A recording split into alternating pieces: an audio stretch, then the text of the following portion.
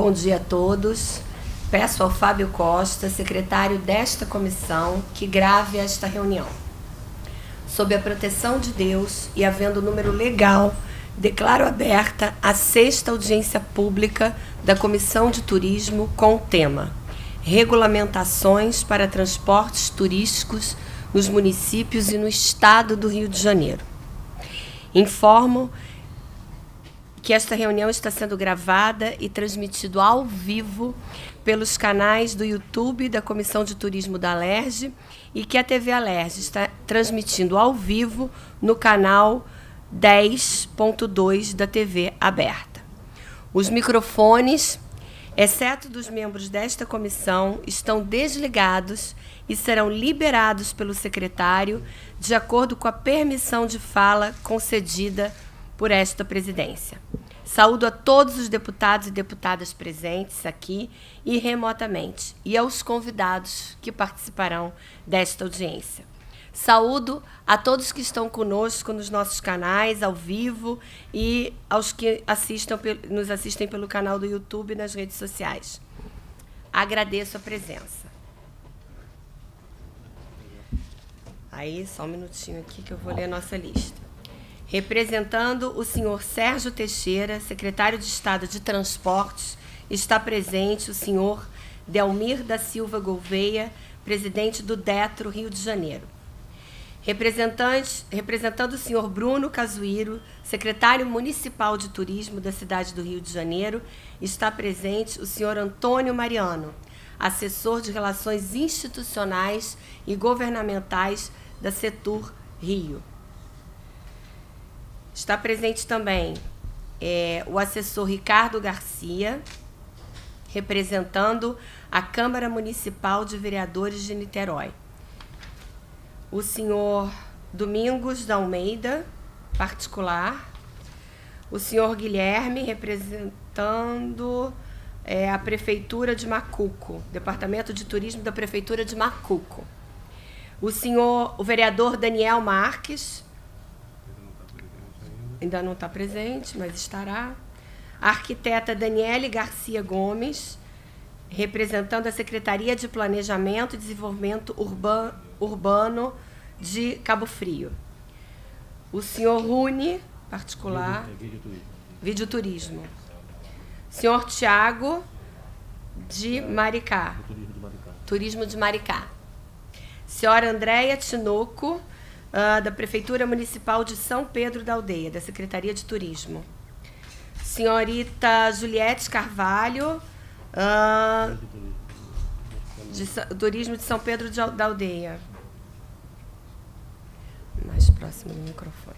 Senhor Evandro Glória, líder, uh, líder Vale Agência de Desenvolvimento Regional do Eixo Turismo Região Sul Fluminense, diretor é, senhor Alexandre Moraes, é, representando a Associação Brasileira da Indústria de Hotéis do Estado de, do Rio de Janeiro, é o gerente. Senhora Bela Santos, bom dia, Bela. É, do IGR, né, da Vale do Café Presidência, Vale Vale do Café Presidência, de Barra Mansa.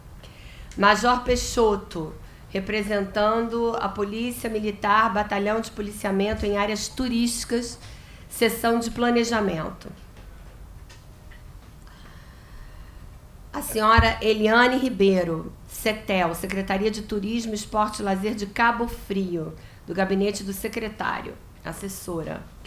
O senhor Wagner, é também do São Pedro da Aldeia e senhor Arnaldo Bichucher, é, da Liguia, né, Liga Independente dos Guias de Turismo do Rio de Janeiro. Já falei. Ah, o Alexandre de Moraes da BIH.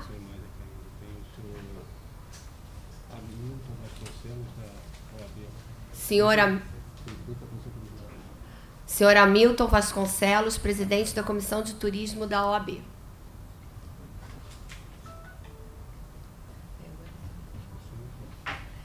É, senhores, na, na nossa última reunião, o, ilustre, querido Marco Navega, é, nos trouxe, nos narrou aqui uma situação que vem acontecendo uh, de uma certa desordem com relação à chegada e à permanência de ônibus de turismos em algumas regiões.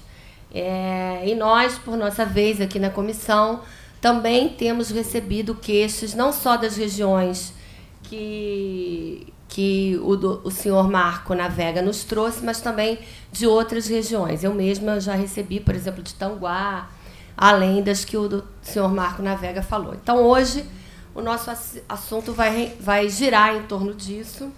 É, ele exemplificou a situação de ônibus de turismo destinado a Arraial do Cabo, que não pode atravessar o município de Cabo Frio, tendo que estacionar em São Pedro da Aldeia, e os turistas que fazem baldeação em outros meios de transporte para chegarem ao, ao município de Arraial do Cabo.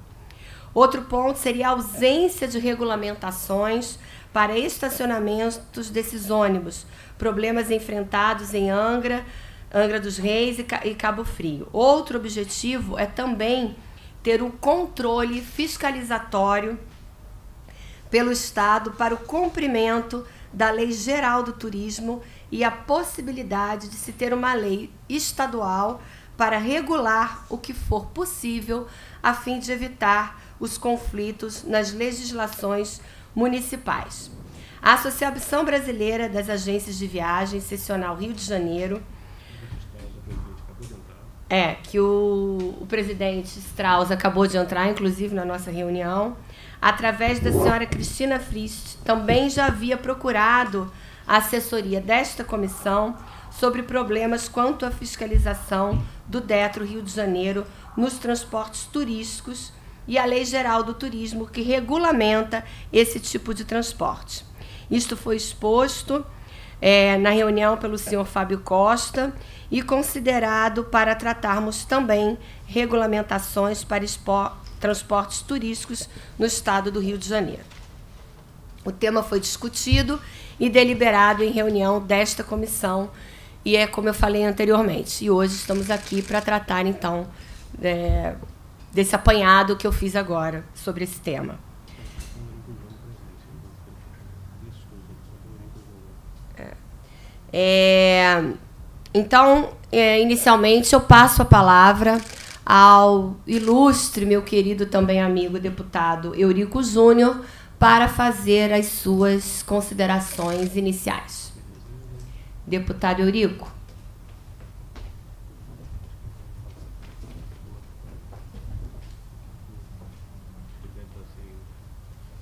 Talvez ele esteja em trânsito, né? Bom, é, de modo a ordenarmos e melhor conduzir esta audiência para que consigamos respeitar o tempo de realização até às 13 horas, iremos dividir esta audiência em três blocos.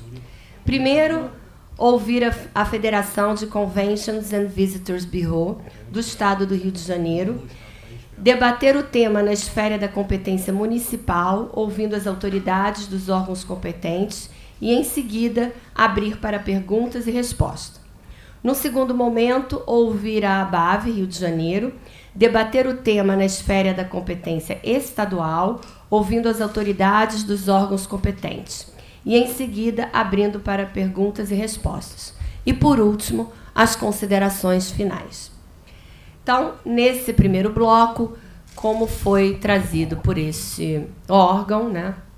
Vamos ouvir então a Federação de Conventions and Visitors Bureau do Estado do Rio de Janeiro as colocações sobre as situações que levaram a esta audiência.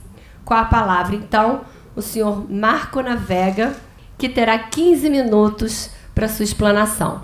Marco, com você, meu querido. Bom dia, deputada Adriana Baltazar, obrigado pela oportunidade. É, em seu nome, eu dou um abraço a todos os parlamentares presentes nessa audiência. Também em seu nome, aos amigos, né, dirigentes de entidades de turismo. E vou iniciar, deputada, deputada presidente, né? Hoje você está presidente da Comissão de Turismo da LERJ É um prazer tê-la como presidente nesta audiência e, contar aí com a ajuda de, dos senhores deputados e deputadas para a gente tentar, né, de alguma forma, né, deputada, não trazer um problema para quem visita o nosso estado. Muito pelo contrário, nós queremos trazer segurança, segurança institucional, que aquele visitante, aquele turista que escolher o meio de transporte, ônibus ou van, ou até mesmo né, aqueles que vêm de automóvel, né, que eles entendam que o Estado do Rio de Janeiro está preparado para recebê-los da melhor forma possível. E para iniciar, deputada, além dessas considerações que a senhora brilhantemente já fez aí na abertura, é, eu queria fazer algumas sugestões. Nós temos alguns problemas sérios né, em relação à capacidade de carga. Nós temos que tentar entender qual é a capacidade de carga de um município, primeiro, para o veículo ônibus, para o veículo van, né, para saber se nessas cidades existem locais apropriados para esses veículos entrarem é, e fazerem ali o transbordo né, das pessoas aos atrativos, às praias, né, até mesmo os atrativos, as festas, né, tudo, que, tudo que acontece em todo o estado do Rio de Janeiro. E o segundo, deputada, é também tentar fazer um, um estudo de demanda, de capacidade de carga é, das pessoas. Porque tem algumas cidades ou alguns atrativos, é, como praias, por exemplo, que tem um limite X de pessoas que tem que ser respeitado. Por quê? Se nós não tentarmos é, regulamentar essa visita, esses locais estão so sofrerão e já sofrem com um aumento é, considerável né, de pessoas se dirigindo a essas praias. Né? São verdadeiros santuários, né, deputada, que a gente precisa olhar com um pouco melhor, um carinho melhor para preservar o ambiente. Nós não podemos nos afastar da ideia que nós estamos chegando aí em 2030, 30 anos após aquela conferência né, que nós tivemos das Nações Unidas, em relação aos objetivos da, do desenvolvimento sustentável. E as propostas né, que nós tentamos levar para essa comissão de turismo é que nós sigamos aquilo que preconiza a Lei Geral do Turismo, e aí eu faço uma observação também para análise né, da, dos deputados e deputadas da, do Estado do Rio de Janeiro, é que na Lei Geral do Turismo nós temos ali alguns capítulos especialmente feitos para esse tipo de atividade. Mas um deles eu quero salientar, deputado, eu já lembrei isso na nossa audiência anterior, é, é que cada ônibus desse ou cada van dessa que vier é, para o nosso estado, não interessa se é na cidade do Rio de Janeiro ou nas cidades de todo o interior, também não interessa se é nas cidades de praia ou nas cidades de região serrana, o problema é o mesmo né, é falta de, de infraestrutura básica necessária para receber esses ônibus e essas vans. Nós temos que ter, dentro desses veículos, um guia de turismo local. Aquele guia que estudou e tirou lá a licença dele do cadastro, ele obrigatoriamente tem que estar dentro desses veículos. Por quê, deputado? É, um ônibus né, desses de 40 lugares, um double deck, né, esses grandes veículos, eles não têm acesso a qualquer rua de, dos municípios. Tem ruas pequenas, é, ruas que têm problema de, de infraestrutura, que é, são condições ainda precárias, né, não podem receber esse tipo de veículo com segurança. E quem sabe disso são os guias locais. Não são aqueles guias que acompanham uma viagem. Os guias que acompanham uma viagem, eles saem do destino emissor e vai até o destino receptor. Nesse destino receptor, tem que existir a obrigatoriedade da contratação de um guia local para poder orientar o motorista do ônibus, o motorista da van, até mesmo os usuários, os turistas. Por quê, deputado? Tem algumas praias que nós sabemos, né? nós conhecemos o nosso estado, mas as pessoas que vêm de fora talvez não conheçam. E tem algumas praias que nós temos problemas, né? quanto à balneabilidade, segurança né, no uso da, da, do lazer. Né? Então, tem praias que são perigosas, outras não. Quem tem essa informação de forma muito tranquila são os guias. Né? Então, é recomendável que tenha os guias. Outro papel que nós levantamos na nossa reunião anterior, deputada, nós falamos que existe também na Lei Geral do Turismo essa, é, esse compartilhamento da fiscalização no âmbito nacional. o Ministério preconiza, através de uma lei, né, uma política pública nacional, e a gente precisa de ter a, a continuidade nos estados e principalmente no município. Nós não podemos nos afastar da ideia que o turismo acontece no município. Não acontece no Estado nem na União, ele acontece aqui, em volta da casa da gente. Então, o que, que é, existem hoje dentro dessas políticas públicas que precisam ser observadas? É a fiscalização, né, deputado? A gente levantou esse, essa, essa ideia, é, nós não estamos conversando de nada novo, são coisas muito anteriores, né, antigas até, né, com mais de 10, de 20 anos né, já de regulação no âmbito nacional, mas que faltou aos nossos legisladores estaduais uma observância sobre isso.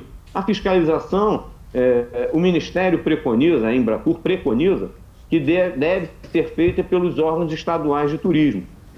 Nós já tivemos aí algumas reuniões e nós sabemos né, que é, a competência né, que seria do Estado está é, tá, tá faltando é, pessoas e recursos para fazer. E nós sugerimos, e aí eu peço é, que, que, a senhora transmita aos nossos deputados estaduais, é, nós pedimos que é, os nossos órgãos estaduais façam convênio com as prefeituras e que passem o, esse direito de fiscalização às guardas municipais. Por quê?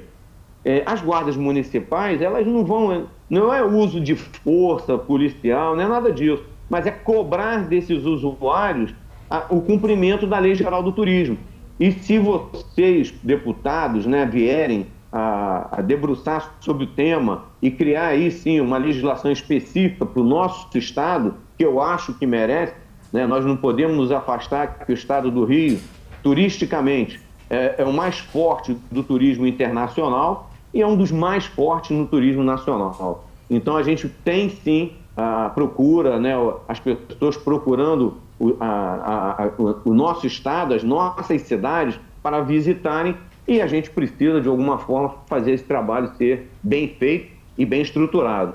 Se o governo do estado, né, através da, dos órgãos oficiais de turismo, a Turis Rio e a Secretaria de Turismo do estado vierem de alguma forma fazer um, um, um trabalho né, de, de parceria com as guardas municipais de todas as cidades do estado, ou pelo menos, né, deputada, daquelas cidades que querem garantir um melhor funcionamento do turismo no, né, no seu território, que esse convênio possa ser feito e esses ônibus passem, esses ônibus, meios de transporte, né, vans etc., passem a sofrer ali uma, uma vistoria pelas guardas municipais que existem em todas as cidades. É como se fosse é, dar mão e dar pé né, para toda a, fiscalização acontecer, principalmente nas cidades mais turísticas do nosso estado, que é onde estão acontecendo recorrentemente né, esse problema de aumento do fluxo, sem a, a, a, o trabalho né, de, de, proibir ou de negar né, acessos indevidos. Né? Então a ideia é essa, tá, deputada? é, tentar sintetizar isso do que eu acabei de falar com a senhora, né, levar ao conhecimento dos demais membros né, dessa comissão e no futuro próximo ao nosso presidente André Siciliano né, da, da Assembleia e até mesmo, por que não, da plenária geral da LERJ, é, esse desconforto que vem acontecendo e não tem uma cidade específica que, que esteja sofrendo com isso não, tá, deputada? como a senhora bem disse na, na abertura, esse desconforto está sendo sentido por diversas cidades do estado do Rio de Janeiro. Então, vale a gente debruçar sobre o tema. É, eu me coloco mais uma vez é, o sistema de Convention Bureau do Estado do Rio à disposição da senhora, dessa comissão e da Alerj, né, para a gente, é, de alguma forma, se quiser fazer uma visita de inspeção, é, se nós pudermos é, trazer os senhores parlamentares né, para conhecer é, em algumas cidades né, o que, que acontece, com a má regulamentação ou com a má orientação para esses visitantes. Será um prazer recebê-los aqui no nosso estado, né, no interior e na capital. E depois eu acho que o nosso presidente Strauss, da ABAV, também tem algumas considerações é, em relação ao turista que chega né, de avião, né, que desembarca no Galeão e no Santos Dumont, e que também sofre com, com, esse, com essa falta de orientação, ou melhor, de acompanhamento dos visitantes. De maneira nenhuma, deputado, e para finalizar a minha fala, de maneira nenhuma nós queremos criar um impedimento de sermos visitados. Uhum. De maneira nenhuma nós queremos proibir o acesso às praias e aos atrativos turísticos de qualquer cidade né, da região serrana ou do interior, do turista a esses atrativos. De maneira nenhuma. Muito pelo contrário, nós queremos que tenha uma regra definida para preservar o espaço urbano e o espaço rural aonde essas pessoas estão visitando, evitando consequências que podem até é, se tornar drásticas de acontecer um acidente com os nossos amigos e visitantes, que é o nosso foco, acredito, é, dos Convention Bureau e de todos que trabalham no turismo, é da gente amplificar a visitação ao nosso estado, mas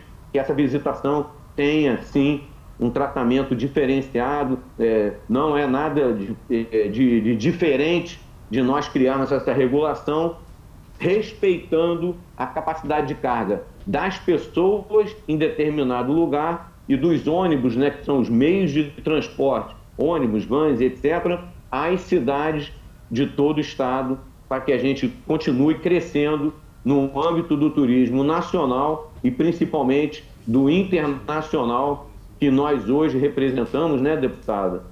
Mais de 37% dos turistas que vêm para este país, eles vêm para o Rio de Janeiro e nós temos esse dever de recebê-los cada vez melhor. É só, deputada. Agradeço. Se alguém quiser me perguntar alguma coisa, estaria à disposição. É, muito obrigada, Marco, pela sua exposição. Acho que a gente tá, vai ter uma oportunidade aí com essa lei que está sendo elaborada, inclusive pelo nosso secretário, que acabou de entrar aqui na reunião, também queridíssimo Tutuca, nosso secretário de turismo. Acho que isso é uma coisa para a gente colocar nessa lei, né? é, que acho que vai chegar em breve aqui na LERJ. A gente já vem discutindo isso, né? O, o Marco é muito parceiro nosso, sempre proativo. Acho que. E, e, você falou uma coisa que eu vejo também por onde eu tenho andado, assim, não há como regulamentar, e nem só regulamentar, não, porque regulamentar é fácil. Mas pôr em prática com a, com a ajuda dos players locais, né? das agências, das instâncias governamentais, das, é, enfim, porque eles precisam dizer se tem estrutura, onde que tem estrutura para chegar esses ônibus, né? Eu já vi acontecer coisas assim na Flip, em Paraty, de realmente a cidade tem uma hora que não comporta mais. Eu, eu, eu vi ônibus pararem quase praticamente na estrada, né? Então tem que ter uma tem que ter um, um preparo para receber também, né? Não, não, pode ser de, de qualquer forma. Bom, é, eu queria registrar então, como acabei de falar, a presença do nosso secretário Tutuca, do Fábio Nascimento, da CTA, e do Jonas Queiroz, da Rio Tour. Eu vou passar a palavra agora, então, peraí que o Fábio vai me dizer aqui, para o senhor Strauss, né? Quem é?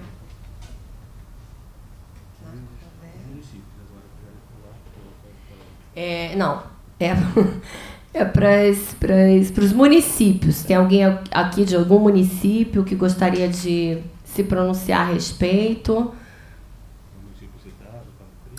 Os municípios citados, principalmente, o Cabo Frio, Arraial do Cabo, outros que porventura. Levanta a mão aí. Levanta a mão aqui para o Flávio me avisar, Fábio me avisar.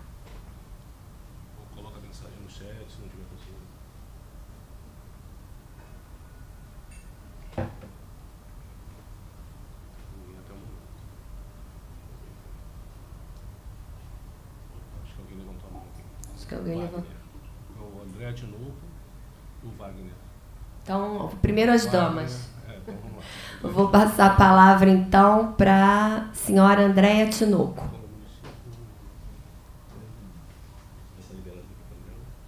Já está liberado o seu microfone, Andréia.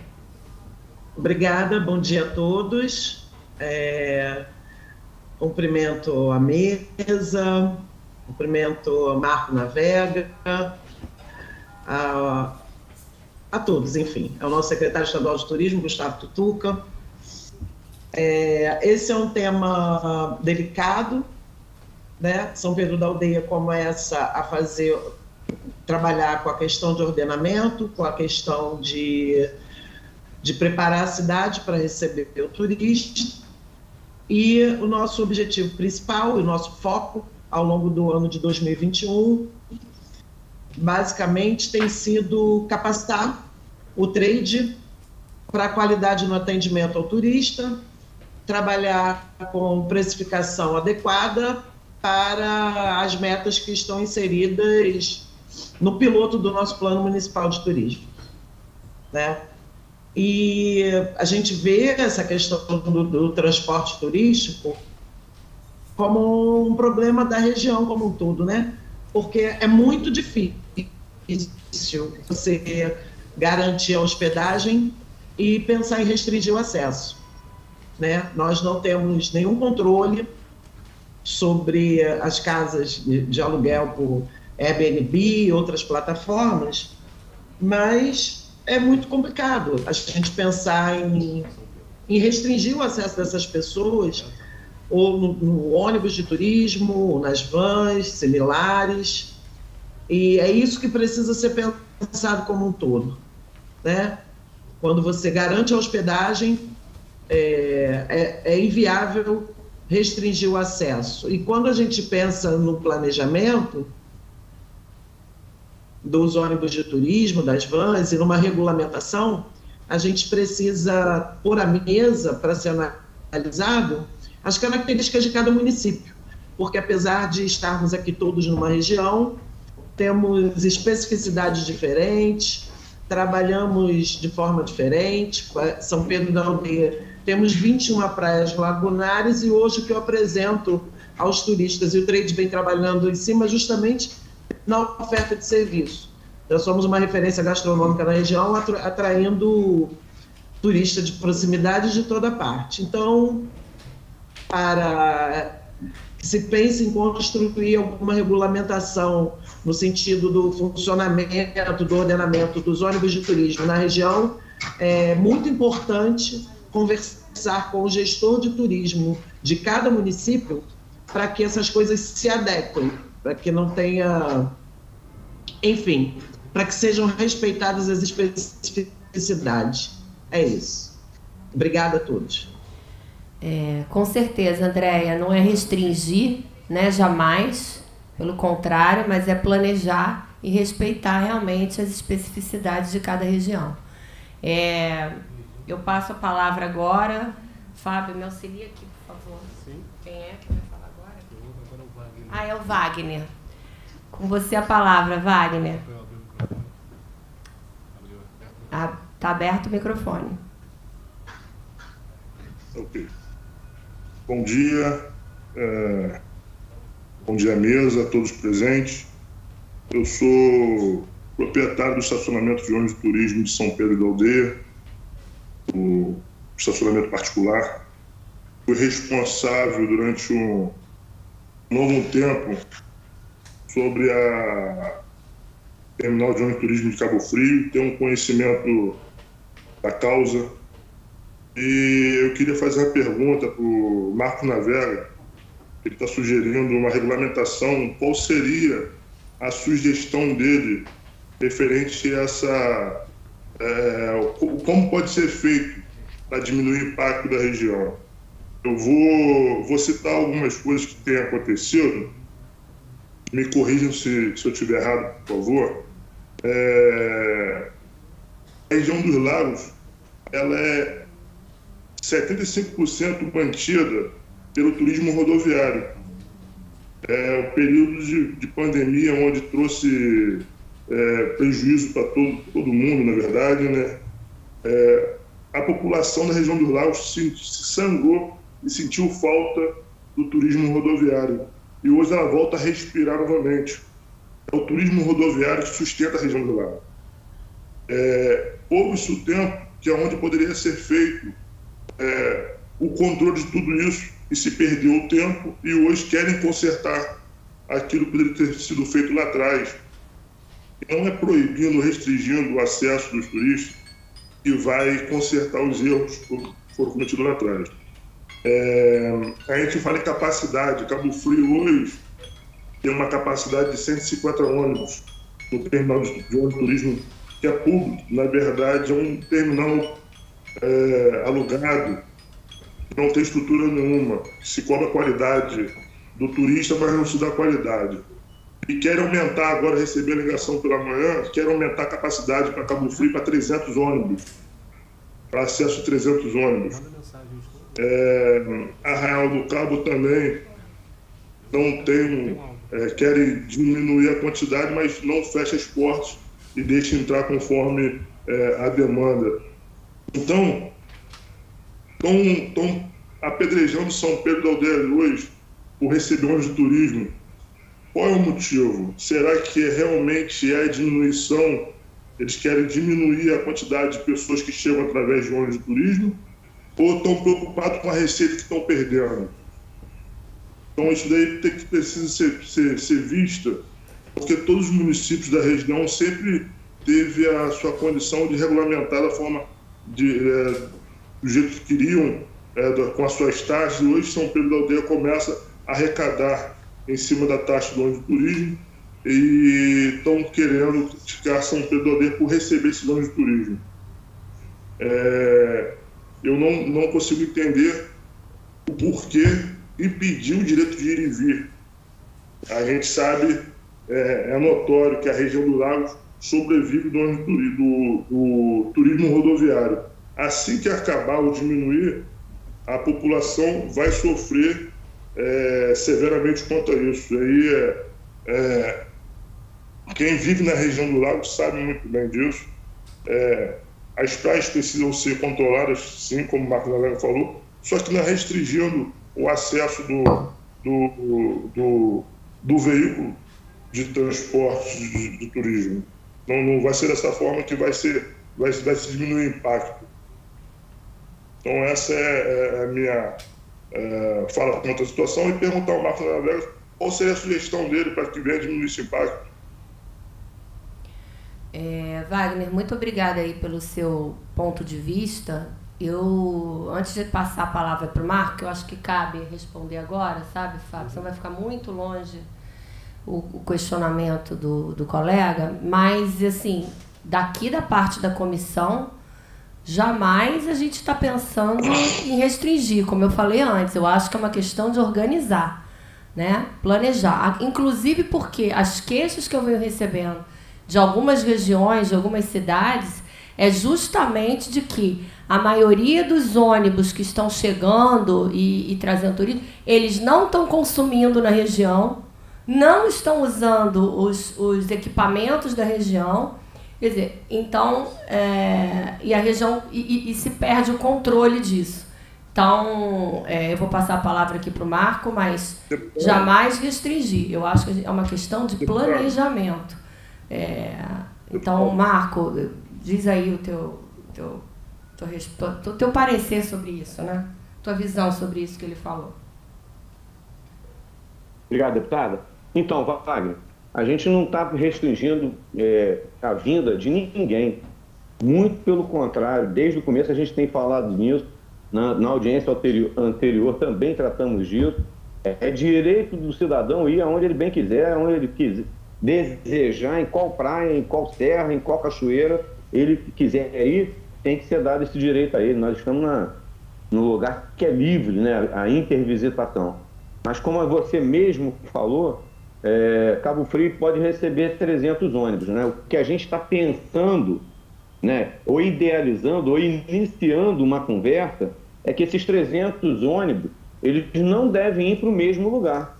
Né? Se, se, Cabo Frio tem um litoral imenso, que esses 300 ônibus se, se, se a, e, é, acessem as diversas praias do município não apenas uma. Esse é um exemplo. Né? O segundo, né, quando você falou que é, ah, parece que estão querendo proibir São Pedro da Aldeia. Muito pelo contrário, tá, Wagner? É, o que a gente não quer, o que a gente não deseja, é que por, pelo, pelo meio de transporte não poder de, entrar em determinado município, eles estão parando em outros municípios e as pessoas estão indo para aquele destino com outros meios de transporte. E é o que acontece ali é, na divisa de São Pedro com Cabo Frio. Muitas, muitos ônibus têm parado ali e as pessoas estão se direcionando para Cabo Frio e para Arraial do Cabo em outros meios que não aquele ônibus original do, da, da onde ele saiu, da cidade que ele saiu. E finalmente, né, Wagner? É, a gente não está, é, de maneira nenhuma, é, eu represento uma parte do turismo, né? uma parte. É, turismo são mais de 50 atividades diferentes. E eu, o que eu achei assim fantástico, e eu gostaria que ficasse gravado nessa nossa reunião de hoje, é que a Alerj está disposta a conversar, ela está disposta a nos ouvir, ela está disposta a nos visitar, que é diferente, né, Wagner? A gente ter um parlamentar na cidade do Rio de Janeiro escrevendo leis que podem, é, de alguma forma, nos atingir sem nos ouvir. A Comissão de Turismo, de forma brilhante, ela está colhendo informações. É por isso que nós estamos nessa audiência.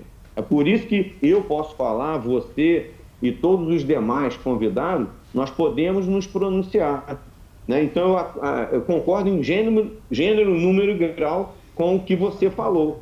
Né? É, ninguém está aqui a fim de proibir ninguém de visitar lugar nenhum, mas a gente quer, sim, né, que as cidades tenham um lugar preparado, como você mesmo disse, para receber os ônibus, que os motoristas desses ônibus sejam tratados como pessoas que fazem a ligação das nossas cidades turísticas com as cidades emissoras para as nossas cidades e que os turistas, aí sim, Wagner, acho que é o nosso principal objetivo, assim, tanto da Comissão de Turismo da LERJ, como de qualquer um, município, é, entidade, né, e etc., é de receber cada vez melhor quem nos escolhe é, como destino de suas viagens. Para isso, a gente está é, tá querendo seguir, Wagner, aquilo que já existe em diversas cidades do mundo e do nosso país, né, que é apenas a, a sabedoria de regulamentar. Para regulamentar, Wagner,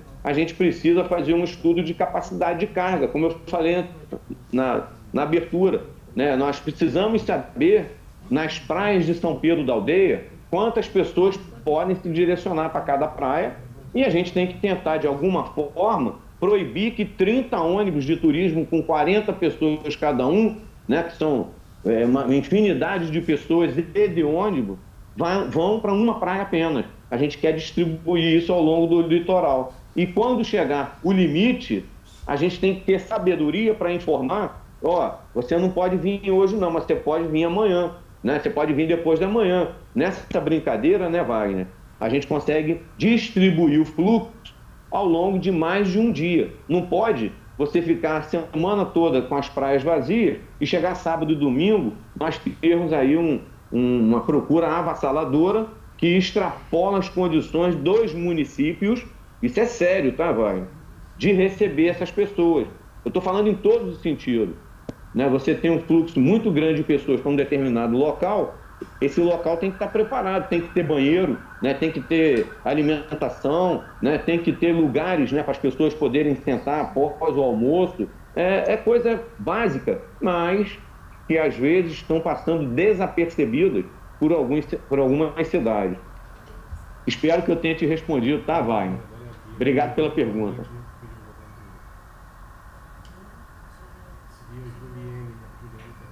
Marco, obrigada pela sua resposta. É, agora eu vou passar a palavra para a guia Juliane Carvalho. Juliane, está com você a palavra.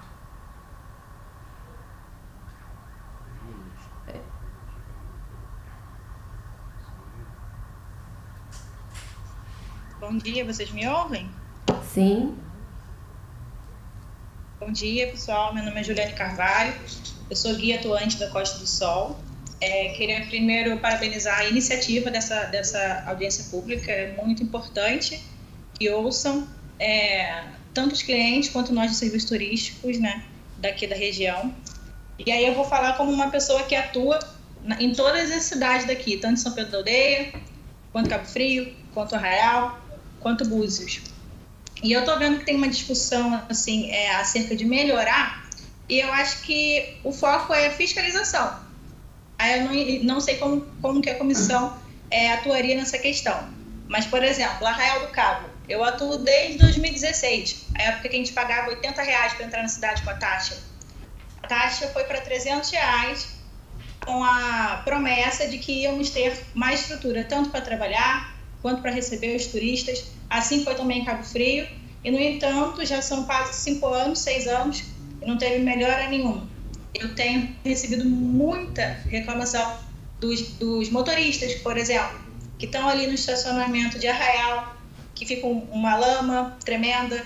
Em Cabo Frio, agora os motoristas têm um pouco, um pouco mais de dignidade, digamos assim, porque conseguem ter acesso ao banheiro, que foi uma coisa que a gente lutou muito, pediu muito.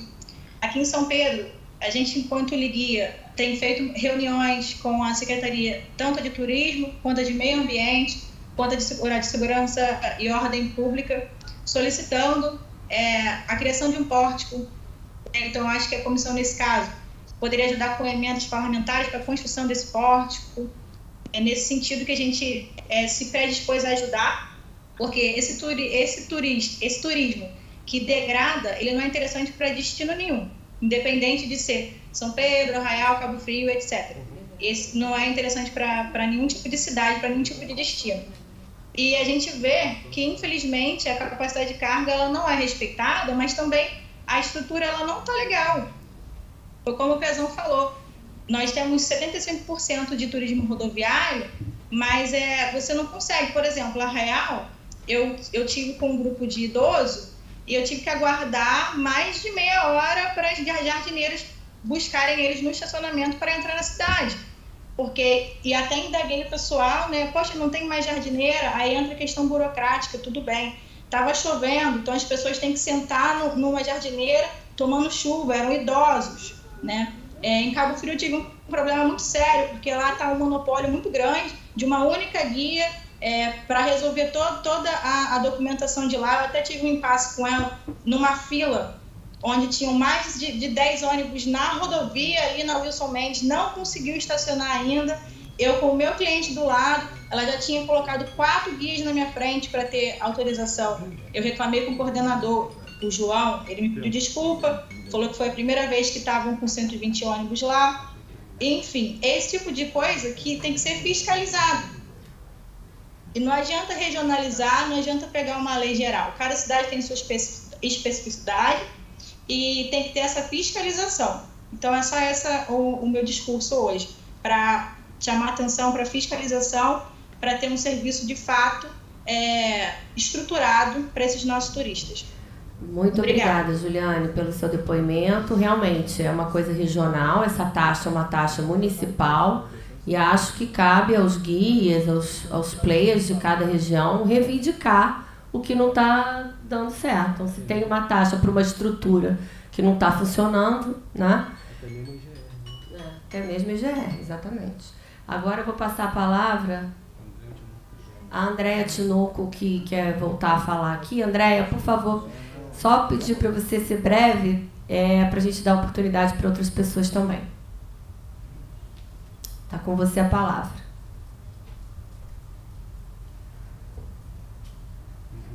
Breve, é, aproveitando aí a fala do Navega, né?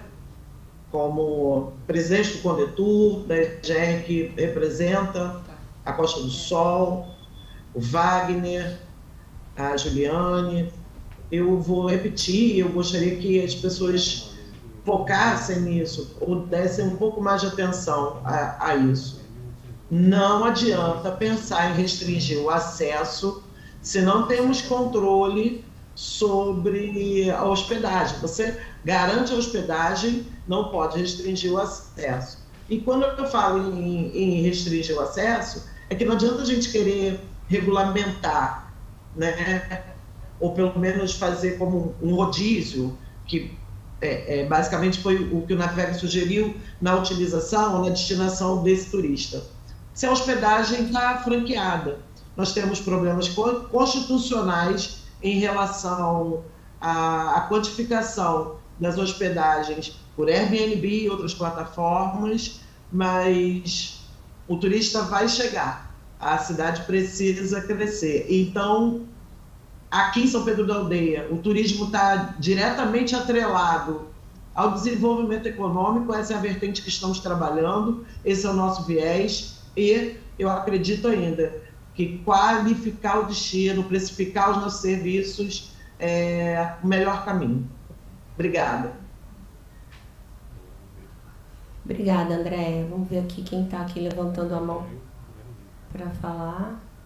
Só lembrando aqui ainda a respeito do que a Juliane falou, é, ah, é preciso fiscalização, mas a gente só pode fiscalizar o que está regulamentado, né? Então, não é que eu seja a favor também de regulamentação demais, não, mas é, é preciso ter uma ordem até para se cobrar.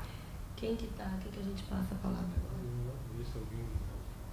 Alguém mais gostaria de falar? Antes de eu passar para as pessoas do segundo bloco, né?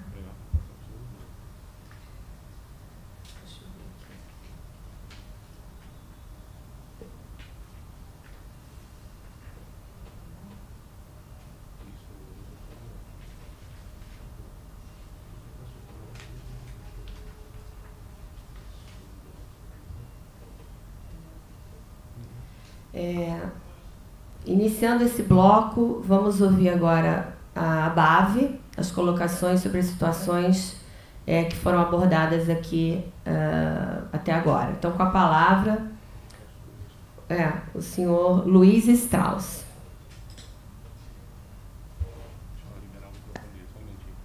Vai liberar o seu microfone, Luiz.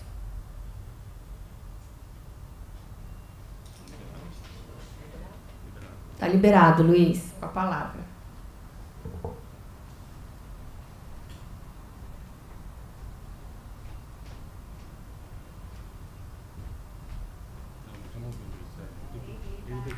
Você, você que tem que ligar agora, Luiz, o seu microfone. Opa. Pronto. Beleza. É, bom dia a todos. Cumprimentando aí a mesa através da deputada Adriana, é, o secretário de que deve estar nos escutando, acredito que ele esteja, esteja já desde São Paulo, estava participando de um show lá, prospectando, é, é, é, divulgando o nosso destino aqui, Fluminense, é, Brasil afora, é, tem dado um resultado muito positivo. Demais autoridades, o presidente Navega está aí, o presidente do Deto, Belmir Correia, eu não consegui visualizá-lo aqui, mas cumprimento a todos e todos, do, todos os companheiros do trade que aqui nos escutam. É, na verdade, o, o presidente Navega já falou muita coisa, ou principalmente quase tudo, das nossas carências, deputada Adriana, mas eu queria, primeiro, para aqueles que nos escutam, que de repente pode ser um assunto novo, que para todos nós aqui, eu acho que a maioria já escuta muito isso, o que, que o turismo representa para o nosso Estado. Né? O turismo representa hoje 32% a 35% de turistas que, que, vie, que vêm ao Brasil. Ele ainda passa pelo Estado do Rio de Janeiro. Eu até acredito, isso é um sentimento totalmente pessoal meu, que esse percentual em breve poderá até diminuir, de 32 passar para 30 ou para 29, mas não é que o número de turistas vai descer, é que outros turistas estarão viajando também para outros destinos do Brasil afora, que, diga-se de passagem, também estão é, é, divulgando seus destinos com muita competência. O Paraná, São Paulo, lá o Nordeste tem vários, vários destinos sendo bem promovidos e a gente não pode fazer diferente aqui. É, acredito que esse número tem, tem, tem, tem, tem muito para ser desenvolvido, não percentual de subir muito, mas se seguir o mesmo percentual e a gente aumentar o número de turistas que passam pelo nosso país, a gente já vai estar aumentando o número de turistas. É, é, é, um, é um, nunca é demais falar para aqueles que nos escutam aqui que não sejam do nosso segmento, talvez quem é desse segmento somente de transporte ou, ou, ou de outro tipo de atividade, ou somente da, da parte política em si, que é, é muito importante ter essa, essa sensibilidade, é de que esse turismo que a gente está falando, ele se entrelaça com várias atividades. E é importante a gente fomentar isso, é importante a gente tentar passar essa sensibilidade para o legislador, para as autoridades é, é, é, que exercem o poder de fiscalização. Isso é importante, eles, eles absorverem o que, que significa isso, que vai desde o do panificador, do, do engraxate que está lá no aeroporto, ao banqueiro que financia um hotel um empreendimento turístico. Isso é muito importante. E a BAVE, ela na verdade defende, além de tudo isso, na verdade nós temos aqui vários gargalos diferentes. Né? O gargalo do interior, é o gargalo de quem tem uma frota maior, quem tem uma frota menor, é o turismo de aventura que tem a sua frota diferenciada e outros tipos de transporte.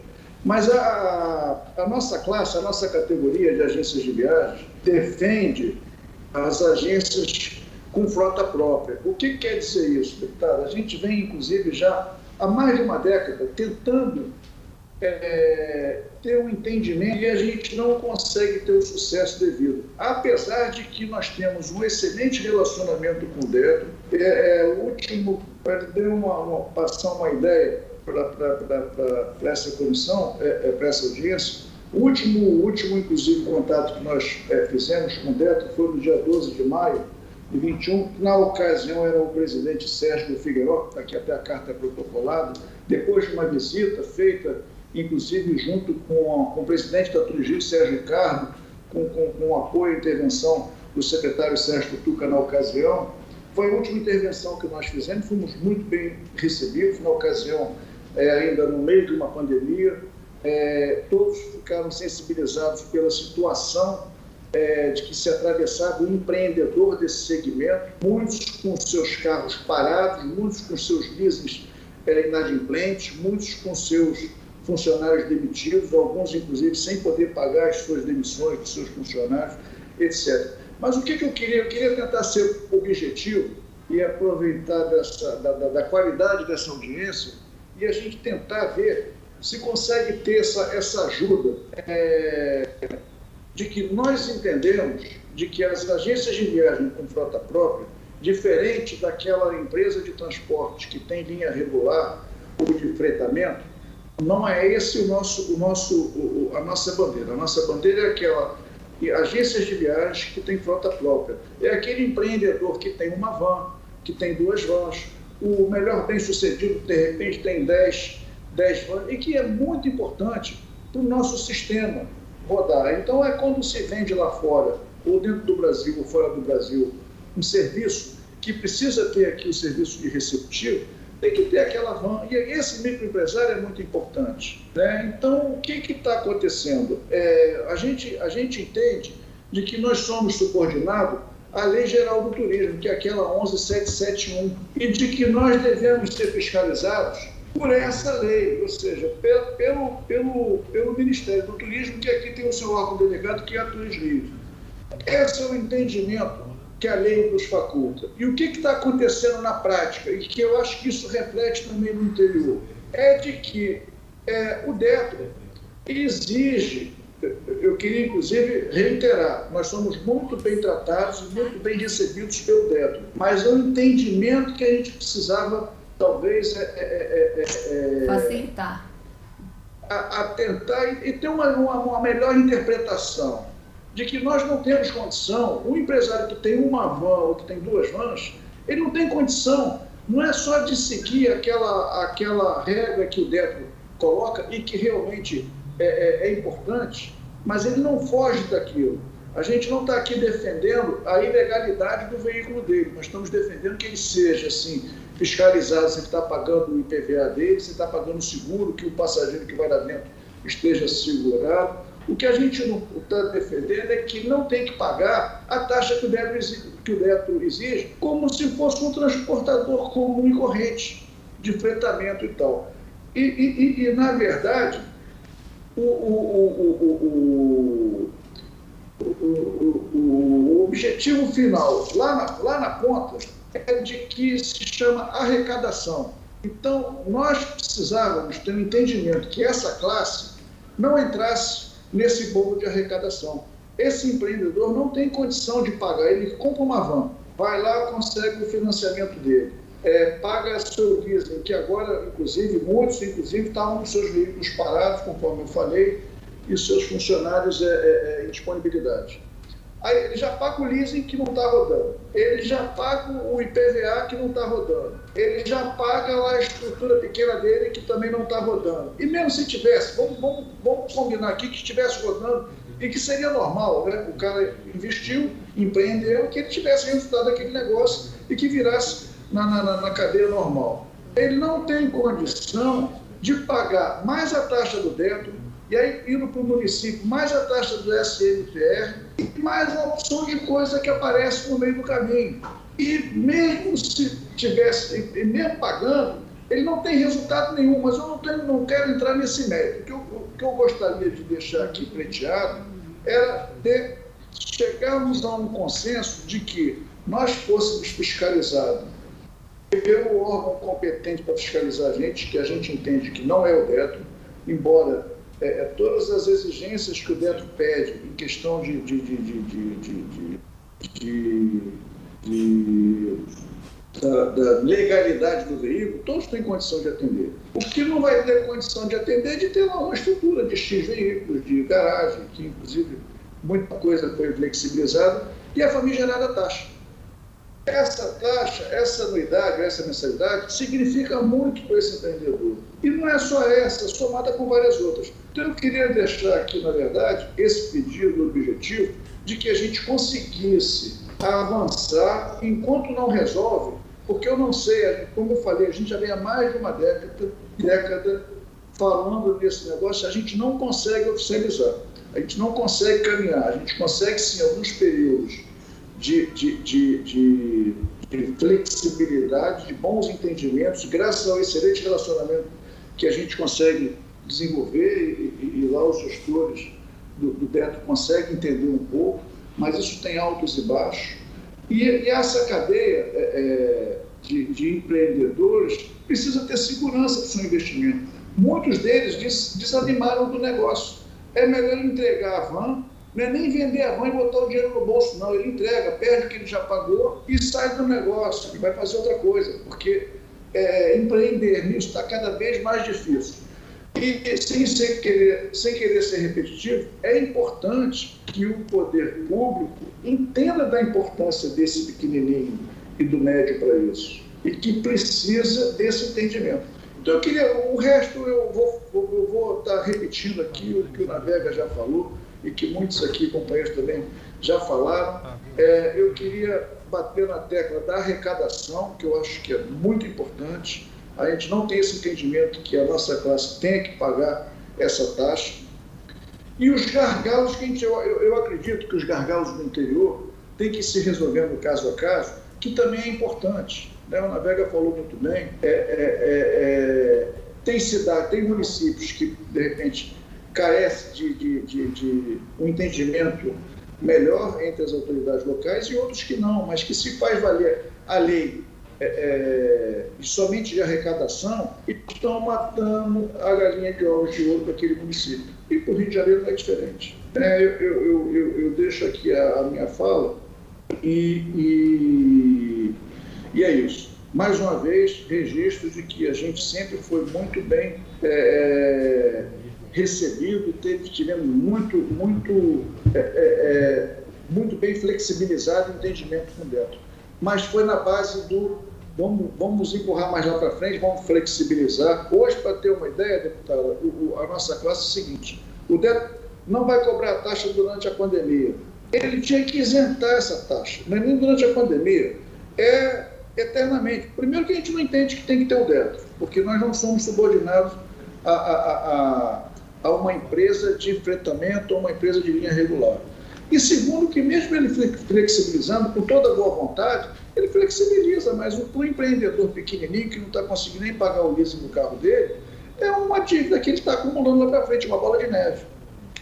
Eu deixo essa fala, agradeço pela oportunidade mais uma vez de estar falando desse tema, que é muito importante, e eu queria, é, é, na verdade, é, é, é fazer um pedido para ver se a senhora nos ajuda a caminhar com isso de uma maneira satisfatória para todos os municípios do nosso estado.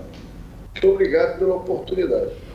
Strauss, muito obrigada pela sua fala. Você tocou num ponto aí muito sensível para mim, particularmente, eu nem falo como membro dessa comissão, é, que é a questão do pequeno empreendedor, né? Então, também não dá para eles contarem com a boa vontade que pode não ter amanhã, um gestor tem, o outro não tem. Então dá uma segurança jurídica para eles. Isso é, é um tema muito sensível para mim e gostei muito da sua contribuição nesse sentido. Está registrado aqui, tá? É, inclusive, deputado, só mais uma coisa, só fazendo uma, uma, ah, uma apologia. Pois não. O que, o que, o, o que o, a gente sente hoje, eu falo em nome dos nossos associados que têm frota própria, é, mesmo, é mesmo, mais ou menos muito parecido com aquele estabelecimento, aquele restaurante que tem um camelô na frente e quem é fiscalizado é somente o estabelecimento uhum. e, quem, e na ilegalidade eles não conseguem atingir, não conseguem limpar. Então, é, é, é, isso é importante, de que se isso seja feito com a velocidade, com a qualidade que a gente precisa, mas que pelo menos a gente não fique pagando essa conta, que é a famosa taxa e arrecadação, que lá no fundo o, o, que, o interesse é esse. Maravilha. Eu vou passar agora a palavra é, para o presidente do DETRO, senhor Delmir Gouveia, sobre as considerações, os, os, os pontos que foram abordados aqui anteriormente. Vai ser muito importante lhe ouvir, Delmir. Então, com você a palavra. Deputada, bom dia, bom dia a todos. Meu nome é Delmir Gouveia, sou presidente do DETRO desde julho próximo passado. É, com relação a essa atividade, o doutor Navega colocou muito bem a importância do turismo, ninguém discute isso. O turismo implica em emprego e renda, isso é importantíssimo para o Estado como um todo, para todos os municípios em geral, não há o que se discutir sobre isso. O DETO vem atuando até em colaboração com alguns municípios, nesses casos específicos da, da região dos lagos e, e Anga também, com relação a feriadões e tudo mais o DEAS procura atuar com apoio da Polícia Militar e em apoio aos municípios, principalmente São Pedro da Aldeia, Cabo Frio, Arraial do Cabo e próprio, e próprio Angra dos Reis, no controle desse acesso. Porque eu entendo a situação com relação a, pleitos diversos, tá? E o DEAT, como o doutor Luiz falou aqui ainda há pouco, o DETRO continua à disposição de todos. A nossa intenção aqui é sempre ajudar. O DETRO não tem interesse algum em, em prejudicar, muito pelo contrário. Todos ganham, o Estado ganha como um todo e o próprio DETRO acaba nisso ganhando também. O que a gente precisa muito é manter a fiscalização e o controle para que isso não venha prejudicar o próprio turismo como um todo. Então, se a gente não tiver um basilamento de, de, de ações, de regulamentação fica muito difícil.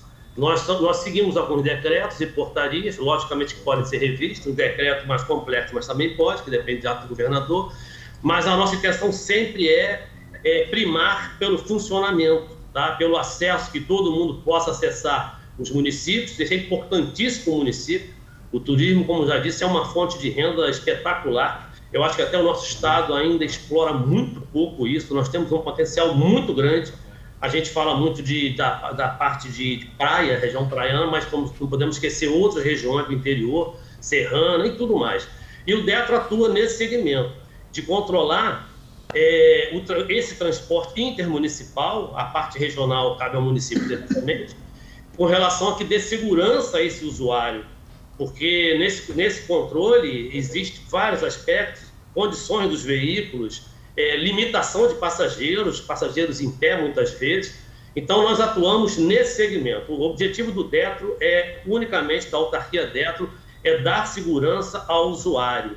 E nós estamos aqui para apoiar no, no, que puder, estamos abertos aqui, recebemos aqui todos, e para analisar, para rever alguns atos, se for o caso, nós estamos expostos a isso. Mas nós atuamos nesse segmento com a preocupação de dar segurança ao usuário e que haja um controle mínimo de, de, de, de transporte desses passageiros, desses turistas, no caso em questão aqui.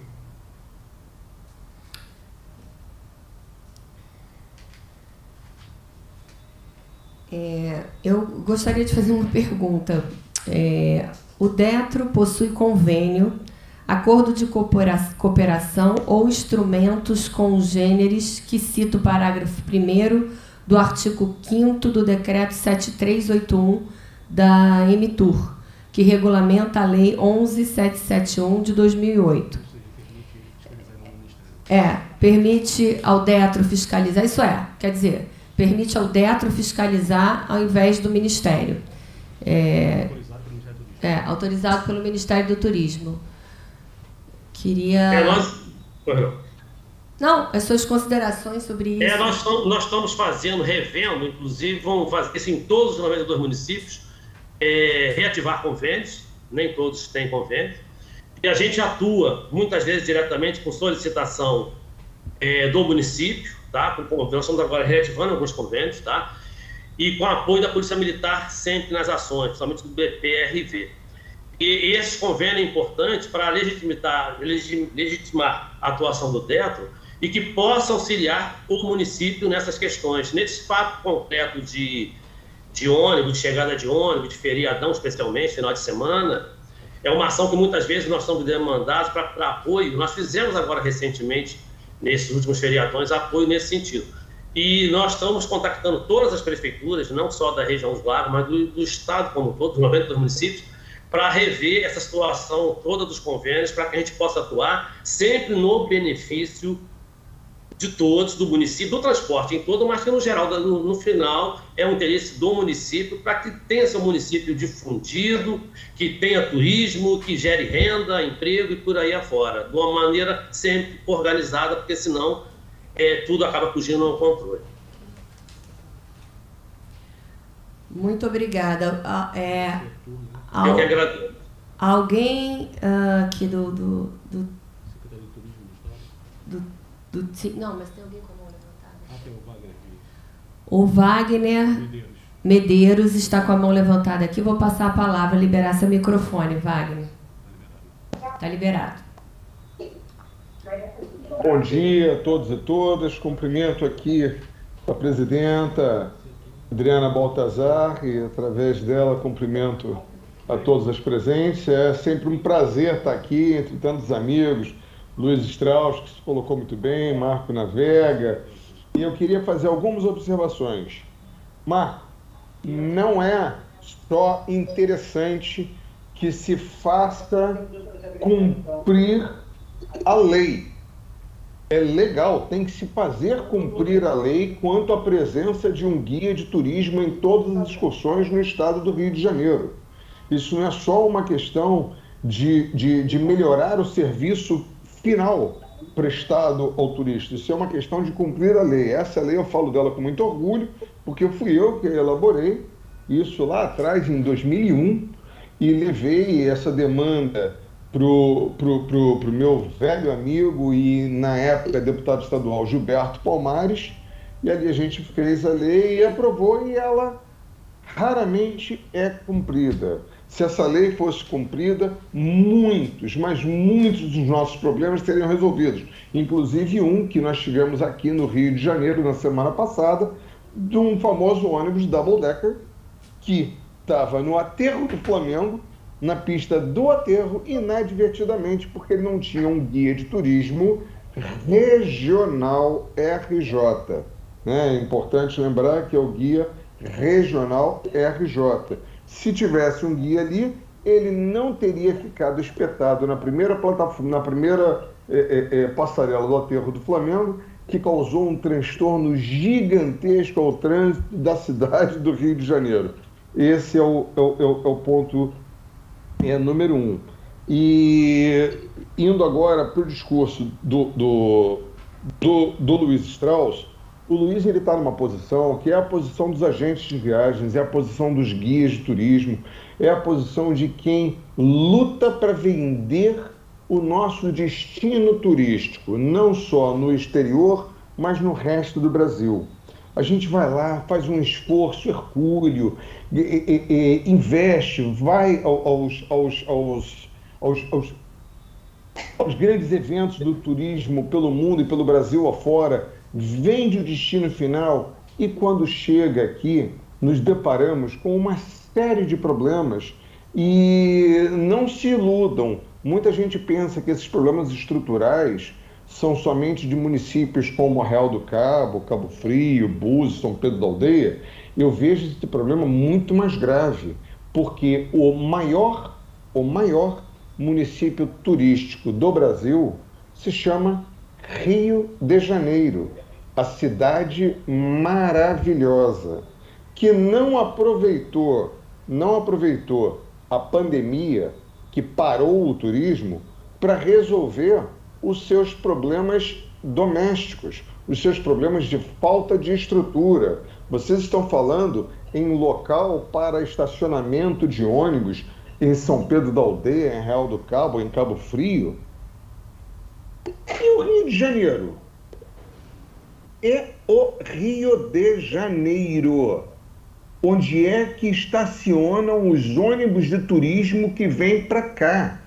Eles ficam abandonados, largados no Corte do Cantagalo, no Leme, na Glória e no Santo Cristo, onde der, porque não há uma preocupação da Secretaria Municipal de Turismo do Rio de Janeiro em de maneira séria, não com prosopopeia, com discurso vazio. Eu tenho, eu tenho 30 e, sei lá, 37 anos de turismo. É, isso aí. Eu tenho 37 anos de turismo. E por conta do meu trabalho, já rodei o mundo inteiro. É, quando eu chego na China, em Hong Kong, e quero visitar o Grande Buda, lá nós temos um local específico para estacionar os veículos sedãs, as vans e os ônibus para visitar o Grande Buda. Alguém conhece como é que é a operação de transferência intermodal aqui no trem do Corcovado, por exemplo? Nosso amigo Sávio Neves luta há anos. Eu ajudo a ele nessa luta para que a gente tenha um ordenamento do embarque e desembarque no trem do Corcovado. Olha só, não estou falando de um cantinho escondido em Pirapora do Norte ou Miracema do Sul. Eu estou falando do trem do Corcovado. Só existe uma baia, uma, uma ridícula baia para embarque e desembarque em frente à Praça São Judas Tadeu. Depois que o motorista faz o desembarque do seu guia e dos seus passageiros ali, ele tem que montar uma verdadeira operação de guerra, que é sair dali, levar o ônibus impactando o trânsito do Cosme Velho. Pela segunda vez, ele impacta para chegar lá, impacta quando sai de lá para ir lá para o Santo Cristo ou para ir para a Glória, deixar o seu, o, o, o seu veículo lá e ficar esperando que o guia suba, faça a visitação ao monumento e que na hora que ele comece a descer, num pequeno espaço entre a estação do Corcovado lá em cima e as paineiras, ele consiga se comunicar com o motorista e diga: camarada, olha, já estamos descendo, estaremos lá embaixo em mais ou menos uns 15 minutos. E a ligação cai. E o motorista tem que sair de lá impactar o bairro do Cosme Velho mais uma vez, trazendo mais trânsito para o bairro mais uma vez e estacionar lá embaixo, nessa única vaga, torcendo para que o, o, trem realmente chegue naquele horário que ele estava previsto para chegar. Então, eu, o que eu proponho aqui, é, é, é, nossa presidenta Adriana Baltazar e o nosso grande secretário Fábio Costa, é que façamos, dentro da Comissão de Turismo, um grupo de trabalho, um grupo de trabalho para que possamos fazer uma concertação para organizar, para ordenar, ordenar a prática da atividade turística no estado do Rio de Janeiro. Nem que ela seja para servir de referência para os municípios, que quando a gente fala em municípios, só pensamos no interior. A gente tem que pensar na cidade do Rio de Janeiro também em locais decentes para que os, os, os ônibus possam parar, estacionar, ter um local para que os seus motoristas possam ir ao banheiro, para que as pessoas não tenham que passar pelo ridículo de que todo local onde tem ônibus de turismo parado, o cheiro de urina é impressionante, porque eles vão fazer xixi é atrás da árvore, é atrás do poste. Mas por quê? Porque eles são mal educados? Não, porque não tem infraestrutura. A cidade maravilhosa não dá infraestrutura. Então, esse é um ponto. E o outro ponto, para terminar aqui essa minha fala, é um extremamente importante. De todos os profissionais que nós temos na cadeia produtiva do turismo, nós só temos um que tem a sua profissão regulamentada. Esse é o guia de turismo. É o único que é profissão regulamentada. E é o mais desrespeitado. O guia é o mais desrespeitado de todos os profissionais.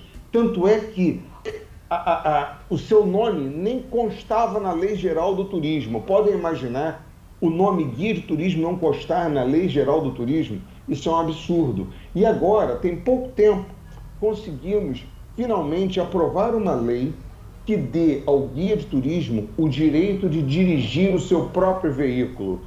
Luiz Strauss, meu amigo, você não vende o serviço de transporte, de traslado, tanto de chegada quanto de saída. Você e todos os agentes de viagens, vocês não vendem esse serviço com carro e guia, porque isso facilita a vida do guia, porque coloca ele para prestar um serviço com valor agregado, que não é só o seu serviço de guiamento, mas o serviço de transporte também, como os guias, que também têm as suas pequenas agências, que são pequenos empreendedores, vendem esse serviço.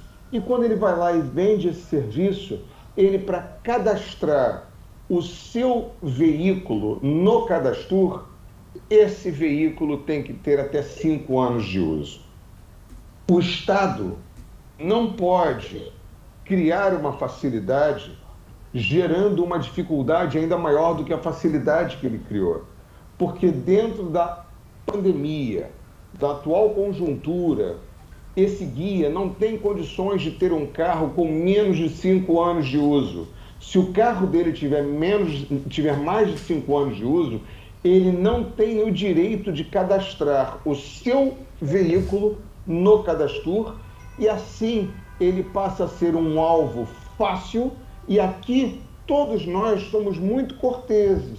O Detro é muito cortês, o, o, o, os serviços, é, é, todos os serviços são muito maravilhosos, mas na hora da fiscalização, o guia de turismo é tratado como se fosse bandido, o turista é retirado do veículo, causando um constrangimento gigantesco não é só para aquele guia, para aquela agência que contratou o guia, mas é para o turismo do Rio de Janeiro e do Brasil. Lembrem-se, quando um cliente sai daqui com uma, uma visão positiva do serviço que ele teve, ele faz propaganda positiva para quatro pessoas. Quando ele sai insatisfeito, a propaganda negativa, isso é pesquisa, tá? Não é conversinha ele faz uma propaganda negativa para 11 pessoas. Creio que não seja isso que queremos. Então eu queria pedir aqui que haja uma concertação.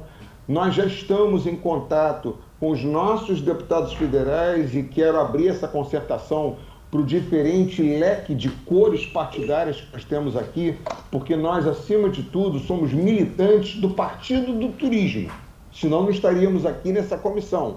Então eu quero chamar a todos não importa se é do, do PT, que é o meu partido, é o partido da minha deputada, da deputada Zeidan, ou se é do PSDB, ou se é do Novo, ou se é do PMDB, ou seja qual for o partido, o nosso partido é o turismo. E estou encaminhando um projeto de lei já para Brasília para que os guias de turismo tenham as mesmas prerrogativas, não só os guias, mas como também as, as, as agências que têm frota própria, que têm as mesmas prerrogativas dos taxistas e das frotas de localizas e movidas da vida, que são descontos gigantescos nos impostos que incidem sobre o preço final do carro. Aí sim, a partir do momento que colocarmos aqueles 5 bilhões de reais que estão no Fundo Geral do Turismo como linha de crédito para que guias de turismo e agências com suas frotas possam comprar esses veículos com esse desconto, Aí é correto, justo e necessário que esses veículos sejam fiscalizados e que, se não tiver dentro do cadastro, eles sejam penalizados e que a penalização seja gigantesca.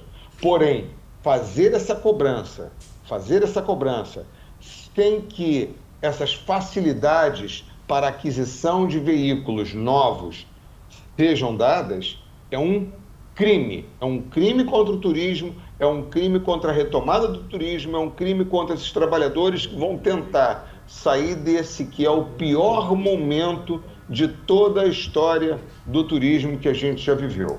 Então eu queria pedir a isso aqui era, era que fosse feita uma concertação entre todos os entes que estão aqui, tendo o DETRO incluído, tendo a Secretaria Estadual de Turismo, as secretarias municipais de turismo e Polícia Militar e Guarda Municipal, para que haja uma compreensão que os veículos seja respeitada a qualidade e o estado de conservação do veículo, mas não a, a exigência dos cinco anos de uso, que seja como um TAC, pelo tempo necessário que se aprove, se regulamente a lei e que esse cadastro é, é, é, esteja aberto verdadeiramente para todos. Porque abrir para quem tem carro com cinco anos de uso, quando ninguém tem condições de comprar um carro zero é um absurdo.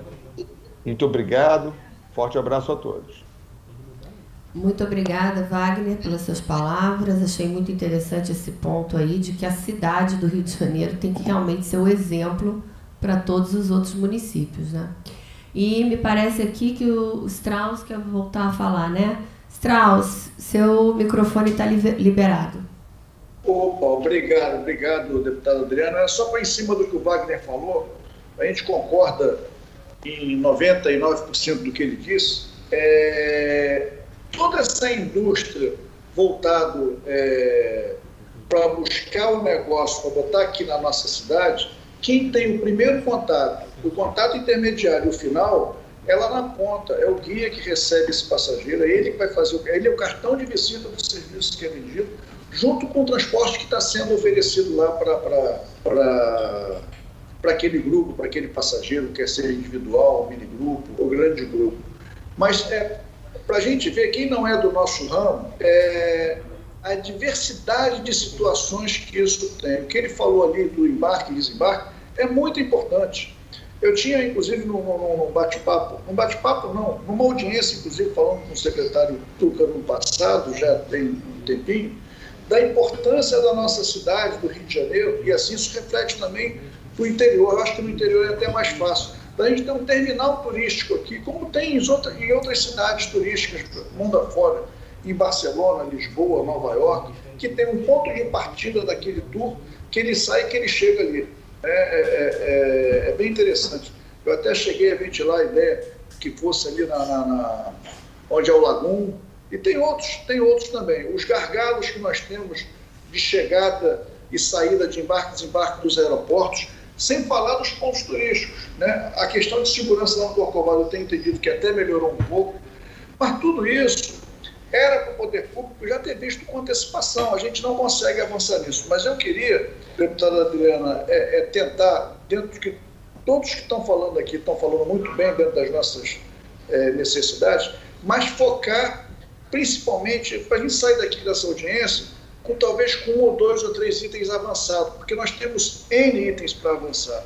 E se a gente dispersar, a gente não vai conseguir resolver nenhum. A questão, a questão do registro no dentro para agências com frota própria, eu acho que isso seria uma, um, um, tema importantíssimo. Né? Quanto a se ter lá o carro cadastrado, a gente não se opõe a isso. Quanto a se ter o guia, que eu acho que quem oferece um serviço de qualidade tem que ter um carro ali, inclusive de qualidade. O mercado acerta isso. O carro pode ter 10 ou 15 anos ou um ano, quem vai acertar isso é o mercado.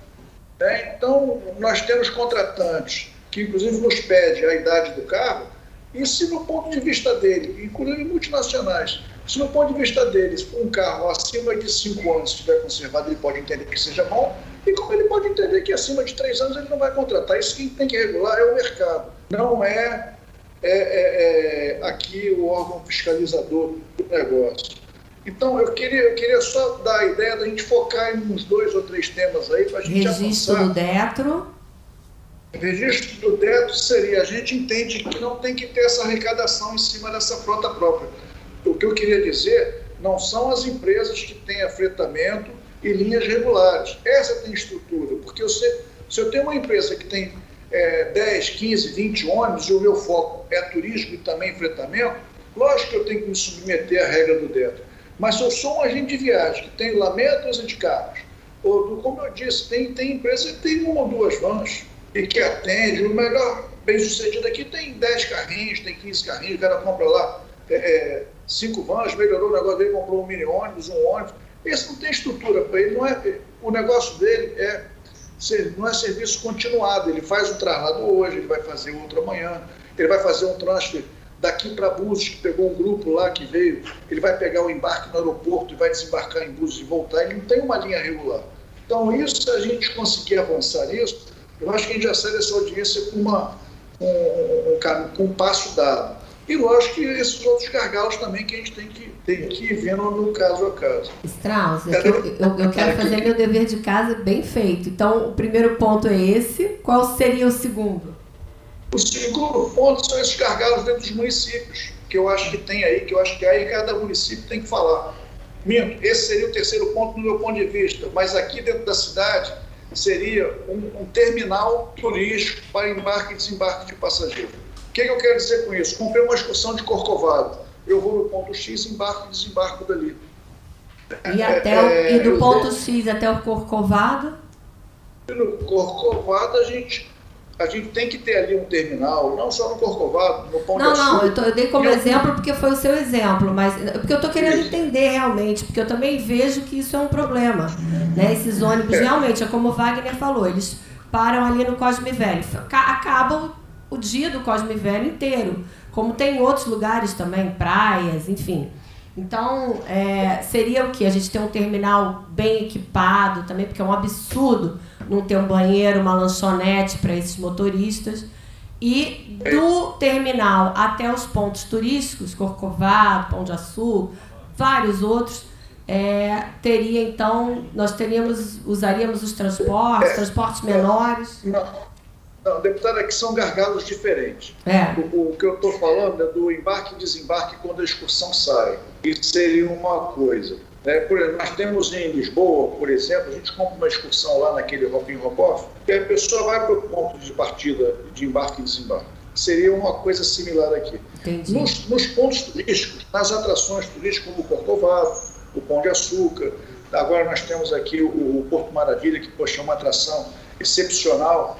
Aí ali em cada local deveríamos ter um lugar para um lugar mais uma, uma pequena infraestrutura, que é o que o Wagner mencionou um banheiro, um, aonde possa estacionar aquele, aquele, aquele, aquele carro. Que eu não vejo isso fácil, mas a gente tem que superar esse, esse detalhe. Né? O Galeão, que a gente tem que, tanto o Galeão como o Santos Dumont, nós não temos aonde ter ali um, um ponto de, do, do, motorista do ônibus chegar, ficar parado ali para esperar o ponto dele. No Galeão, inclusive, esse, esse problema é maior, porque é, é, é, não tem até tem área para ser designada, mas ainda nós não temos isso formatado. Já melhorou muita coisa, mas ainda tem coisa para fazer. Ponto 3 seria esses gargalos do município, mas aí eu deixo o Navega falar, que vai falar com muito mais propriedade do que eu. É, muito obrigada, Strauss. Eu queria registrar. Eu que agradeço. Eu queria registrar a presença do deputado Dionísio Lins aqui na nossa comissão, que é presidente da Comissão de Transporte. Deputado Dionísio, Vossa Excelência queria fazer algum, gostaria de fazer algum comentário, não sei desde quando Vossa Excelência estava acompanhando a nossa reunião. É, eu abro pro, a palavra.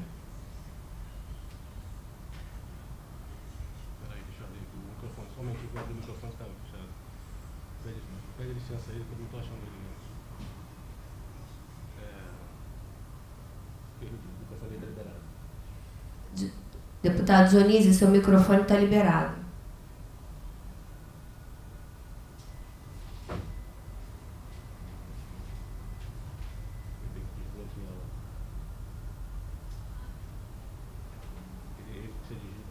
Deputado, é o seu microfone que o senhor precisa liberar.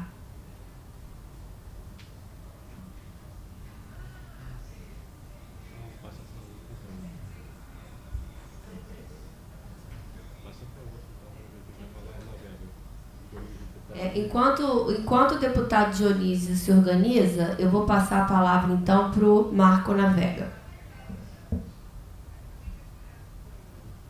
Deputada, obrigado mais uma vez aí.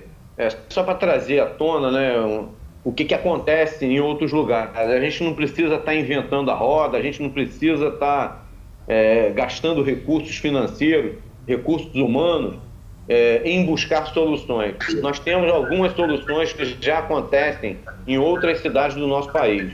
Mas eu quero trazer uma que vem muito em, em, em, em encontro né, o que a gente iniciou há três semanas atrás e nós estamos hoje aí no segundo passo, que é o quê?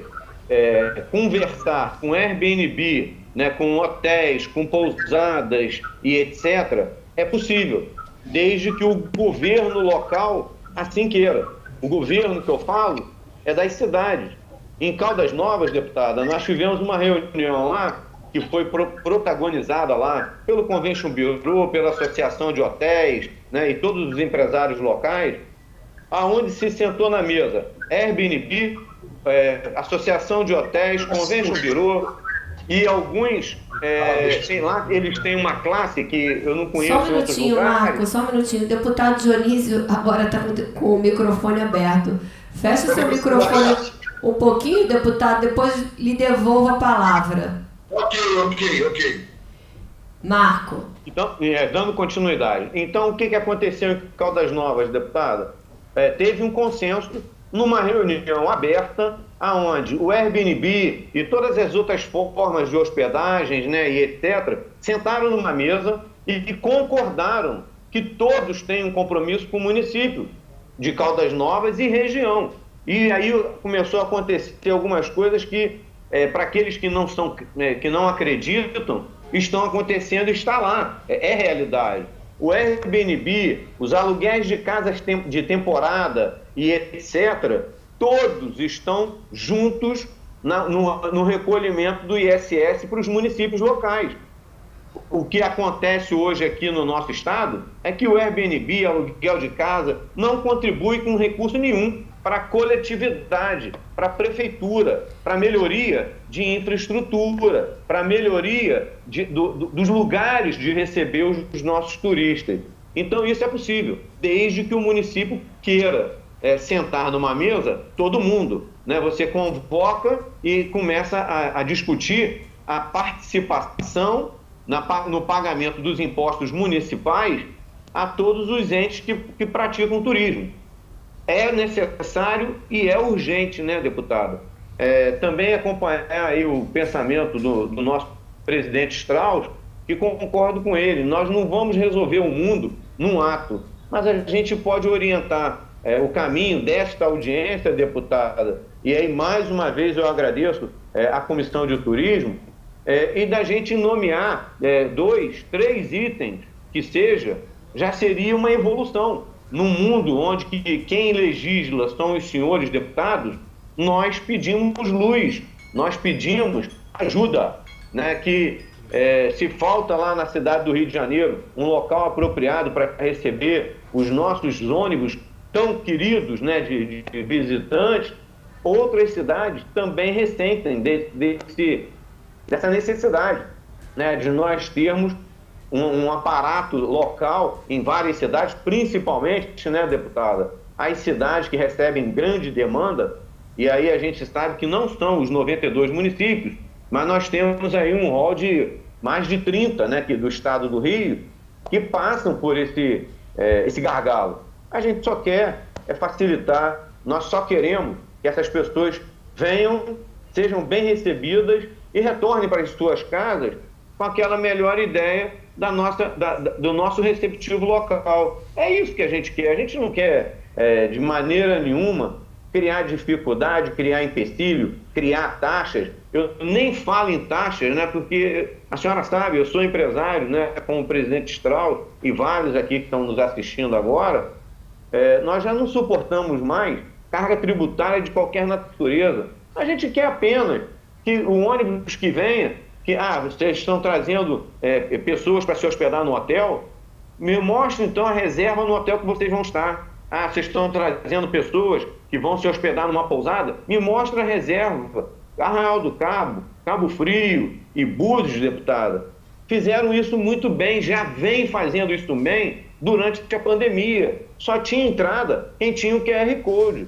Por que não seguir né, é, essa experiência de pandemia que ajudou os, os, os destinos a regular de forma é, equilibrada, vamos dizer assim, mas que nós tenhamos uma bandeira para mostrar para todo mundo que nos visita, principalmente através das ajudas dos agentes de viagens que vendem o nosso estado, que esses agentes consigam dizer para quem vai nos visitar aquilo que é necessário. Ó, você está indo para a cidade X, Y, Z, você precisa ter reserva. É, faz a reserva conosco aqui nas agências de viagem, vocês vão ter a garantia de entrada no nosso estado e vão ter o direcionamento para a sua cidade. Não esquecendo, deputado, que nós temos também é, um, um turismo, né, principalmente no interior e na capital também, que é aquele turista do day use. Né? Então, nós também temos que ter sabedoria para colocar isso dentro dessa, dessa, dessas recomendações. As pessoas vão a Arraial do Cabo passar o dia para mergulhar. Né? Então, nós não podemos impedir, porque várias famílias precisam desse cidadão, desse visitante. Né? Anga dos Reis é um grande exemplo, deputado, de passeios turísticos, né? de passeios marítimos. Né? Então, nós não podemos é, não permitir, mas nós podemos dizer que nós temos uma capacidade. Né? Nós só temos 10 barcos. Se cada barco carrega 10 pessoas, a gente só pode receber 100 pessoas. Quer dizer, é nesse, nesse sentido, né, deputada? É, mais uma vez agradecer a senhora, né, a deputada Alana também, que muito nos recebeu muito bem na, na, na primeira, na primeira conversa sobre isso. A, a deputada Célia Jordão, lá de, de Angra, também foi muito, muito atenciosa né, com o tema e me colocar mais uma vez à disposição da senhora e desta comissão para qualquer necessidade que esteja é, preciso né, para a gente melhorar cada dia mais e melhor né, o nosso turismo em todo o estado. Obrigado, deputado. É, Marco, eu só algumas observações aqui em relação a essas suas últimas palavras. Eu, como uma liberal, também odeio taxa e regulamentação em excesso.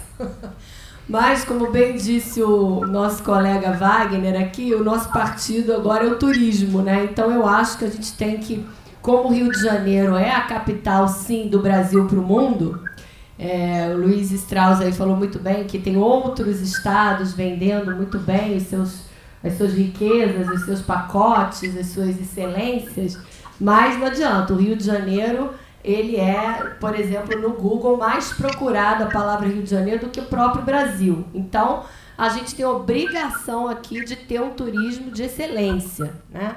Ser o carro-chefe do nosso país lá fora, porque somos, né? Então, é, antes de passar a palavra para o Tutuca, eu também tenho muito essa preocupação. E para o deputado Dionísio, que está aqui na fila. É, eu também tenho muito essa preocupação do, por exemplo, do day use. E vou dizer até uma experiência que eu fui muito bem sucedida, porque eu fiz uma vez um grupo para ir a Flip. Né? Eu gosto muito de leitura. Então, fiz um grupo numa van. E tem algum microfone aberto. Do, do Dionísio, deputado Dionísio. Já vou lhe passar a palavra. Não me pressione, deputado. então, Marco, eu fiz um grupo é, para ir a Flip eu fiz um grupo para ir a Flip. E, para minha surpresa, eu não trabalhava ainda com turismo, a nossa van foi parada né, na chegada de Paraty. E os guardas, eu agora não me lembro que se era guarda, sei, não sei que polícia que era, mas fomos parados, fomos obrigados a comprovar que nós voltaríamos no mesmo dia para o Rio de Janeiro. A, a, Uh, e fomos orientados aonde aquela van poderia parar dentro de Paraty naquele dia e realmente tinha lá o seu estacionamento, pelo menos naquele momento, isso foi antes da pandemia, muito bem estruturado, né? com banheiro, com tudo. Não sei se foi feito só para a Flip, que é um grande evento, já se consolidou aí com um grande evento. Então, não, não podemos jamais é, dispensar esse day use, porque nós comemos, almoçamos, depois do, jantamos na cidade, é, compramos na cidade, artesanato, enfim. Então, é um turismo de day use também muito importante.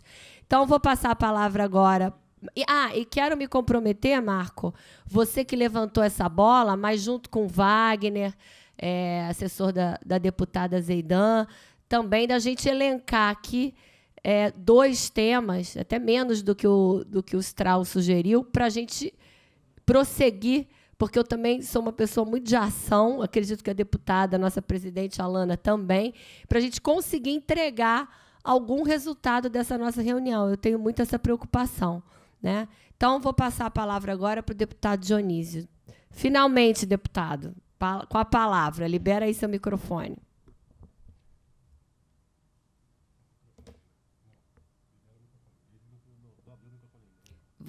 O nosso está liberado. Falta o seu agora, deputado. Ok? Saímos já? Agora é perfeito. Deputada, nobre deputada Adriana Baltazar, Quero dizer a Vossa Excelência que a parabenizo pelos temas atuantes que Vossa Excelência tem trazido para o Parlamento. Vossa Excelência fez acontecer como deputado em nossa casa, de modo que eu tiro o chapéu da sua atuação. Quero cumprimentar os parlamentares que estão nessa audiência, cumprimentar todos os atores que aqui estão. Como presidente da Comissão de Transporte, eu devo deixar registrado que sou favorável, mas favorável sem restrição, a questão da regulamentação do transporte turístico. O transporte turístico intermunicipal tem que ser regulamentado definitivamente, até para que se acabe o jeitinho, o jeitinho que constrange, constrange gerar emprego, constrange gerar riqueza aos municípios, constrange a quem vem visitar a nossa cidade-estado e o nosso estado no todo. Não é? O tema é oportuno, o tema é muito importante que possamos tirar uma pauta e definir essa regulamentação, como Vossa Excelência disse. Quero parabenizá-la, parabenizar a, deputada Alana Passo, né, todos os companheiros que fazem parte, e dizer que o turismo ele é muito importante. E nós, quando saímos nesse momento de uma pandemia que quase quebra todo esse país, quando hoje podemos, nesse momento, celebrar a vida, porque nós estamos celebrando a vida, nós estamos aqui neste mundo discutindo uma pauta. Quantos foram aqueles que são nossos amigos que já partiram? De modo que o turismo é a saída para alavancar, alavancar a estrutura dessa cidade-estado e de todo o estado do Rio de Janeiro. Eu acho, nobre e querida deputada Adriana Baltazar, o tema é importante, vamos estar juntos e estou pronto de pé e a ordem para ajudar a regulamentar essa questão. Estamos do seu lado, lado de todo o grupo, toda a comissão, ao lado do secretário de Turismo atuante, companheiro e colega deputado Tutuca, para que possamos, em definitivo, ajustar a legislação e resolver esse problema. Porque, como a senhora bem disse, o Brasil num todo não tem o privilégio que temos o nosso estado do Rio de Janeiro. Nós recebemos aqui turistas nacionais e internacionais.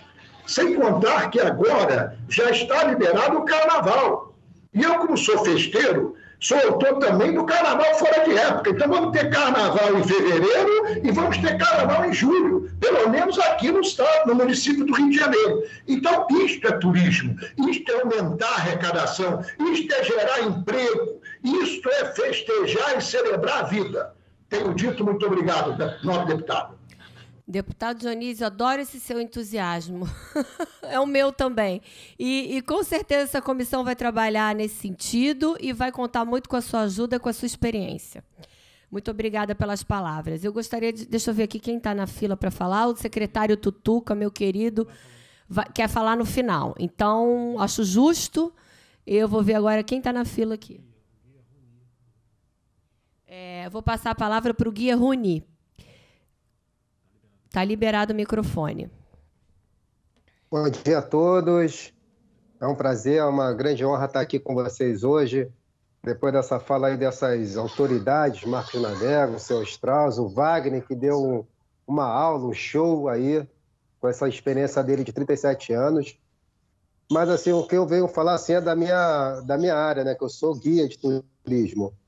E é uma, como todos sabem aí, eu não vou precisar repetir, é uma profissão que é regulamentada, que já está regulamentada. E no, na Constituição, no artigo 5, no inciso 8, fala que toda profissão pode ter toda profissão, mas desde que esteja atrelada às condições técnicas previstas em lei. Então, o que acontece? Quando um, um ônibus de excursão com finalidade turística adentra no nosso município sem um guia de turismo, com monitor ou com coordenador, qualquer coisa, está cometendo, assim, digamos, um, um exercício legal da profissão, uma vez que o guia de turismo é aquele profissional responsável de guiamento, de, de contar a história, de saber qual é a rua que está fechada, que não está fechada. Então, peço, assim, que dessas, dessas pautas que temos aí sobre a, a regulamentação dos ônibus que está sendo feita, que o, que o guia de turismo seja assim o principal ator nessa, nessa reunião de hoje. Além também, que é uma coisa muito importante que o senhor Marcos Navega falou, o senhor Wagner falou, não temos um terminal turístico de embarque e desembarque, não temos um estacionamento de ônibus de finalidade turística no, no maior parque industrial de turismo do, do Brasil, que é o Rio de Janeiro. Aqui no Rio de Janeiro a gente é abençoado tanto para turismo de aventura, turismo no cemitério, turismo de carnaval, praia, montanha, arquitetura, obra de arte, tudo. Toda esquina do Rio de Janeiro é turística. Qualquer lugar que você vai aqui no município do Rio de Janeiro, por ser um centro histórico, por ser, ter sido capitais várias vezes, é, é, é turismo, é venda, é um comércio de turismo. Então, se o guia não for valorizado nesse momento, por tantos anos que a gente vem, vende o Rio de Janeiro, nós não vendemos só a cidade, não. Nós vendemos tudo que é atrelado ao turismo. Nós vendemos política, nós vendemos história, nós vendemos cultura, nós vendemos entretenimento. Nós fazemos a pessoa, pegamos um, um ônibus com 46 pessoas, pegamos um turista daquele fazemos esse único turista replicar para quatro pessoas da família deles para vir ao Rio de Janeiro. E essa, isso aí vira uma bola de neve que o Rio de Janeiro por si só se vende.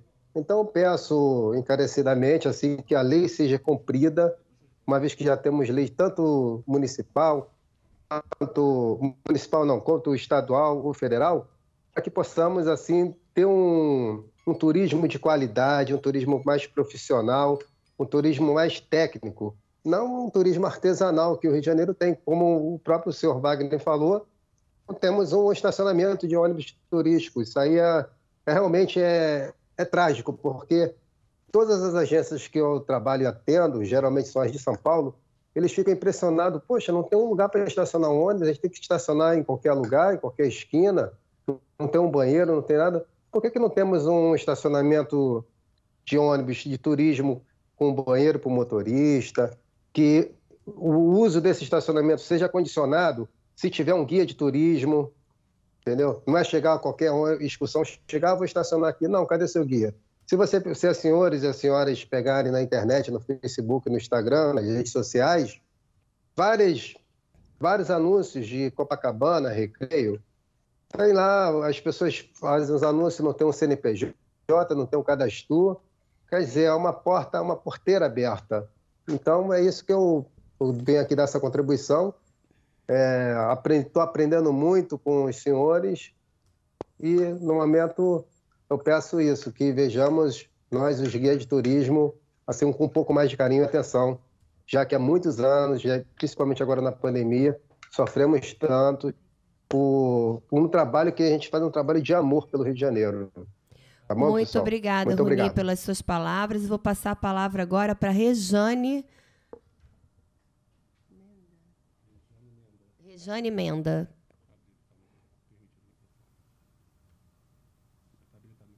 Está li tá liberado seu microfone, Rejane. Três minutos, por favor.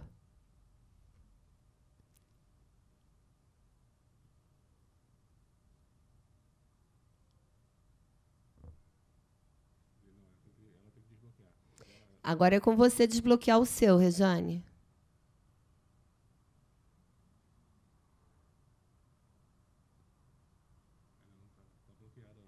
Tá bloqueado ainda o seu microfone, Rejane.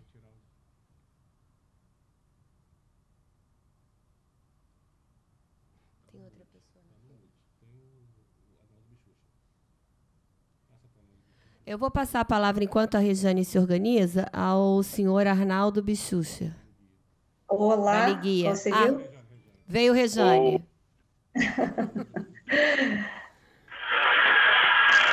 Então quem vai?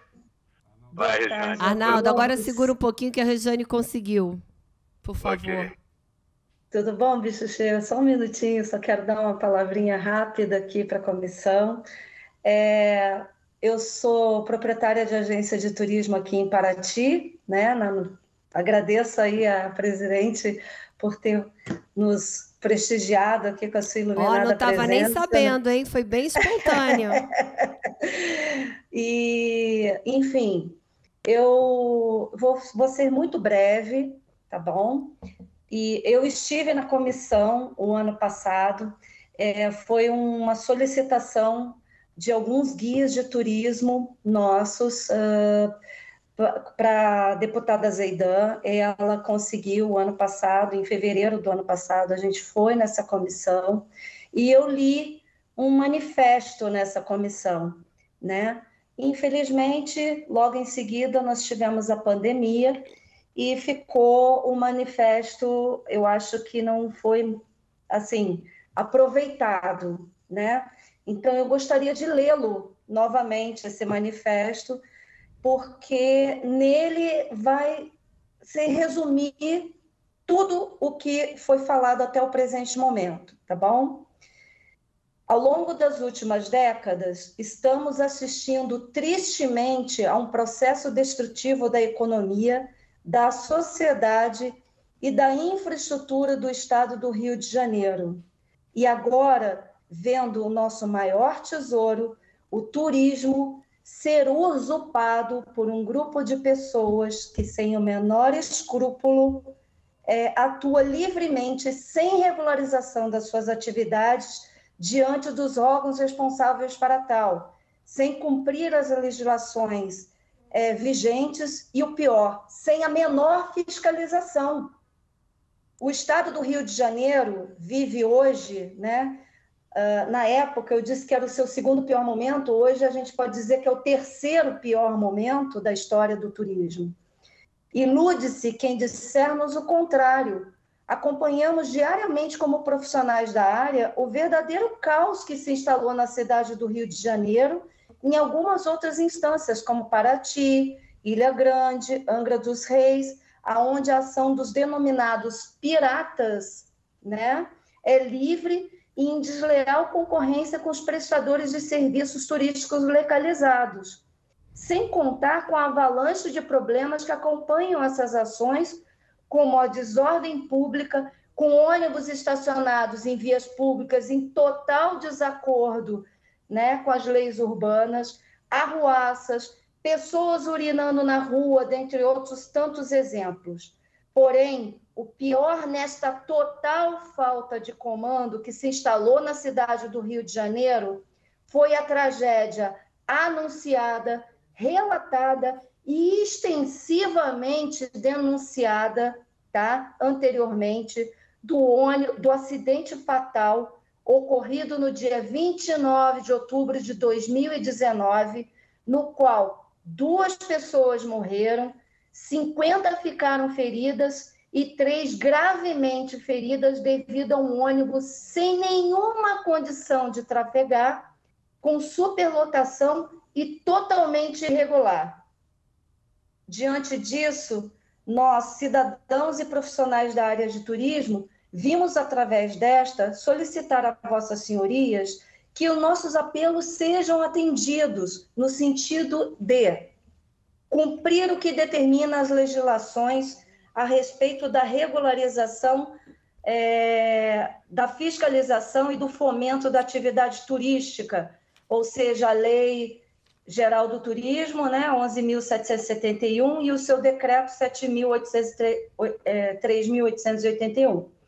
Cumprir o que determina a Lei 8693 e a sua portaria 27, que dispõe sobre a profissão de guia de turismo, tornando obrigatória sua presença em transporte de fretamento turístico, as denominadas excursões, bem como a retirada. Essa é a parte mais importante que eu peço que vocês se atentem, tá?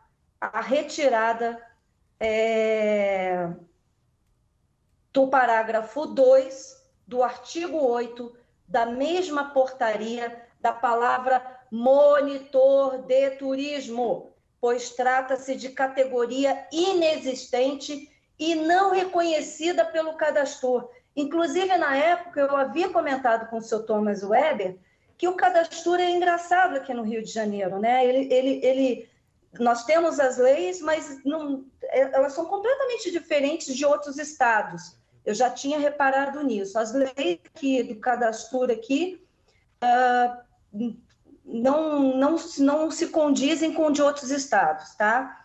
É, no parágrafo 2, considera-se monitor de turismo a pessoa que atua na condução e monitoramento de visitantes e turistas em locais de interesse culturais é, existentes no município, tal como museus, monumentos, prédios históricos, desenvolvendo atividades interpretativas fundamentadas na história e memória local, contribuindo para a valorização e conservação do patrimônio histórico existente, não sendo permitido ao monitor de turismo a condução de visitantes fora dos limites do respectivo local.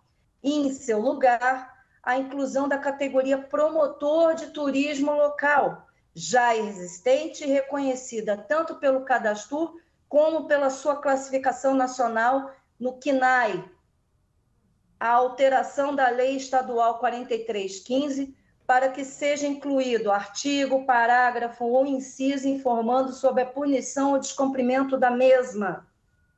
A criação de em medida emergencial. É, eu sei que nós estamos em recuperação fiscal, em estado de recuperação fiscal, e que a gente talvez não pudesse usar isso, porém, ainda fica assim a sugestão a criação em medida emergencial de processo licitatório, atendendo que determina a legislação, para a contratação de pessoal na categoria de fiscais, para atender a grande demanda existente nos órgãos de fiscalização, até que seja elaborado concurso público para o preenchimento efetivo das vagas. O cumprimento, aí vem a questão do DETRO, da, da Polícia Militar, né? O cumprimento da fiscalização, bem como o ordenamento dos transportes de fretamentos turísticos pelos órgãos competentes já atuantes, DETRO, Batalhão de Polícia Rodoviária Especia é, de, de Vias Especiais, Guarda Municipal, Polícia Militar, nas principais vias de acesso do Estado e aos municípios que integram o mapa do turismo regional. De nada adianta, ilustríssimos senhores, irmos lá fora, em feiras, internacionais, divulgar os atributos, ou como eu costumo dizer, a fachada né, do nosso Estado, sem consertarmos os problemas internos, que nesse ritmo desenfreado tendem a piorar cada vez mais, né? Então, na certeza assim da compreensão de vossas senhorias, eu solicito que essas providências sejam é, imediatas, ok? E assim, é, com relação à questão das taxas de acesso, hoje nós temos um disparate muito grande, né? Uh, eu, 90% do meu trabalho é grupo de excursão, é grupo que vem e que contrata o guia de turismo, entendeu? Então, aquele, aquele, aquela excursão que não vem pelo fato de, de é, é, fazer bagunça, fazer baderna, não tem guia. O guia ele é fundamental nesse processo. Ele é que coordena, ele é que orienta, ele é que ele é que briga, ele é que ele que faz tudo. Eu vou dar um exemplo para vocês do que aconteceu o ano passado, um pouco antes dessa reunião da comissão de turismo, é bem breve. é, eu estava na praia do Recreio dos Bandeirantes, né? E lá tem um tinha um pátio, um estacionamento, sei lá, lá perto do terreirão, né? E uma senhora, a filha passou mal, o bebê passou mal, ela não, não tinha guia de turismo, a excursionista não sabia de nada, não sabia onde era um hospital, não sabia orientar nada a, a turista, né? O que aconteceu? Ela pegou um táxi, o cara rodou ali por dentro, claro. Óbvio, a gente também, taxistas também tem que ser é, fiscalizados. Nós estamos vendo aqui nos hotéis, em Copacabana, Ipanema, vários taxistas atuando como agência de turismo, né, em detrimento do nosso trabalho. Então, eu acho isso muito triste. E essa senhora acabou tendo que pagar uma fortuna de corrida de táxi quando o hospital ali, o Lourenço Jorge, é super perto da, da, dali do Recreio dos Bandeirantes, né? E, e eu isso até, enfim, é isso. Fica Obrigada, a... Rejane. Eu queria só dizer que esse, esse, esse tema do, do, do, guia, eu acho que merece outra reunião detalhada para a gente discutir. Mas muito obrigada pelas suas considerações. Eu queria receber, é, queria te pedir para enviar esse esse manifesto aqui para a comissão. Eu sei que já foi lido anteriormente, mas agora a comissão mudou e acho que Com a gente certeza. precisa ficar de posse, né? Ter posse desse, desse documento aí para a gente estudar, tá? Como ele merece. Eu vou passar. Muitíssimo pa... obrigada. Muito obrigada, Rejane. Eu vou passar a palavra agora, então, para o senhor Arnaldo é, Bichucher, por favor, com a palavra. Já liberamos aqui? Então, é... Já liberamos. É, está aqui. É, boa, bom, boa tarde já, né? Uh, eu sou presidente da Associação Liguia, que é a Liga Independente dos Guias de Turismo aqui do estado do Rio de Janeiro. E pode parecer, às vezes, um pouco estranho que numa audiência pública falando de transporte de turismo, a gente venha falando muito do, de turismo. Mas não é estranho. Não é estranho porque é, o guia de turismo é aquele profissional que está em contato direto com o nosso cliente final. E, e não só com o cliente final, mas com o destino, com os atrativos, os equipamentos. Então, é daí que pode surgir a grande parceria para qualquer administração pública entender quais são as demandas, os anseios, para a gente cada vez melhorar a experiência desse nosso cliente final. Só que o que a gente tem visto ultimamente é exatamente o contrário. A minha experiência é que em janeiro eu fui convidado para participar da Secretaria Municipal de Turismo aqui da cidade do Rio de Janeiro, é, com o então secretário Cristiano Beraldo.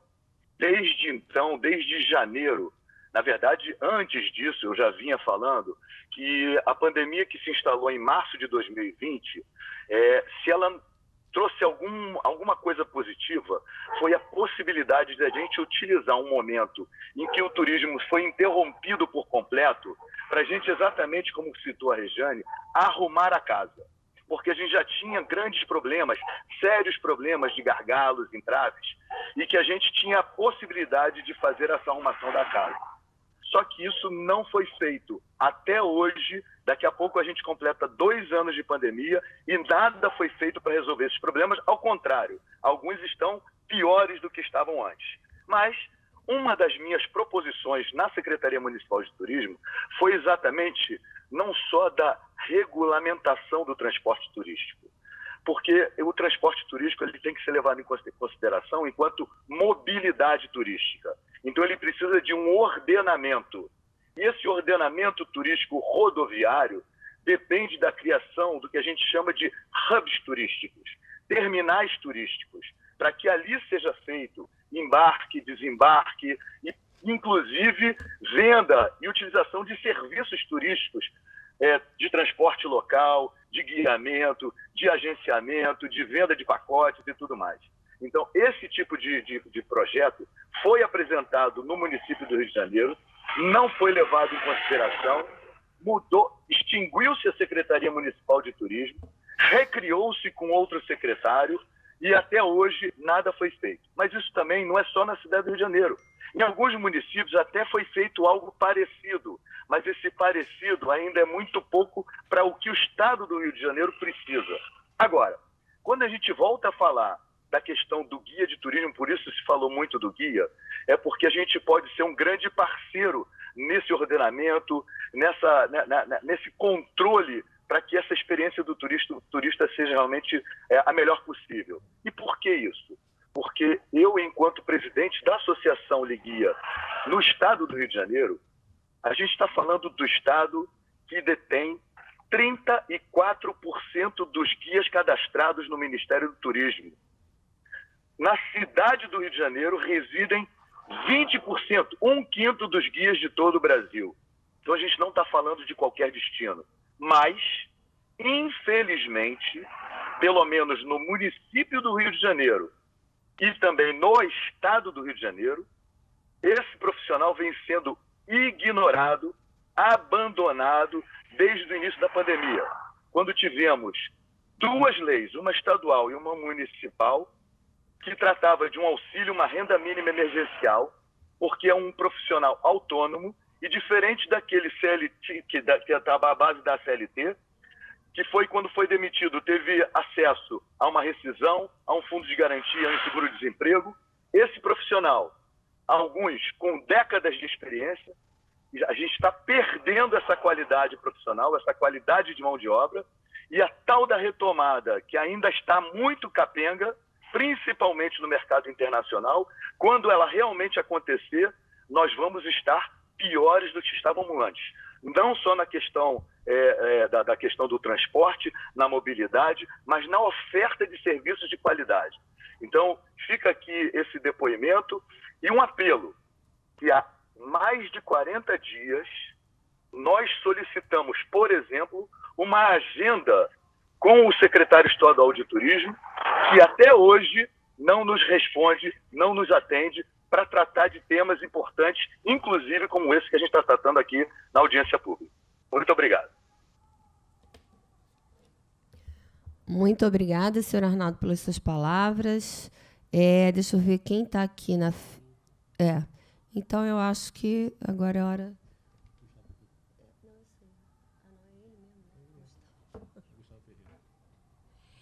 É, eu vou passar então agora a palavra para o nosso secretário estadual de turismo, Gustavo Tutuca. Uh, eu acho que ele vem ouvindo aí, né, Tutuca, as nossas considerações. Agradecer pelo sempre pelo, pelo trabalho, pelo carinho que eu sou tratada por ele, pela sua equipe nesses muitas, nossas muitas andanças aí pelo interior do nosso estado. Uh, Tutuca, então, por favor, com a palavra.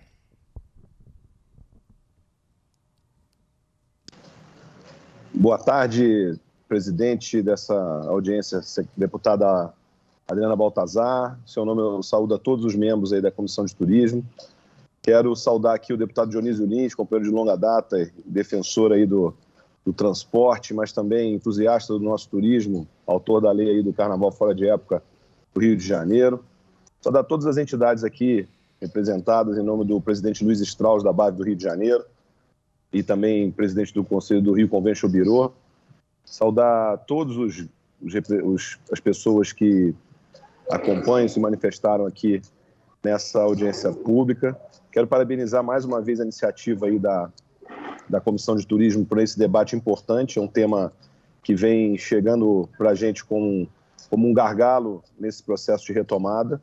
É um tema que é recorrente, né, os problemas recorrentes. A gente, desde que eu assumi a secretaria no, no finalzinho de novembro né, do ano passado, a gente vem recebendo essas demandas. Já tivemos algumas reuniões no DETRO, já tivemos algumas conversas com o setor e a gente vem procurando soluções para isso.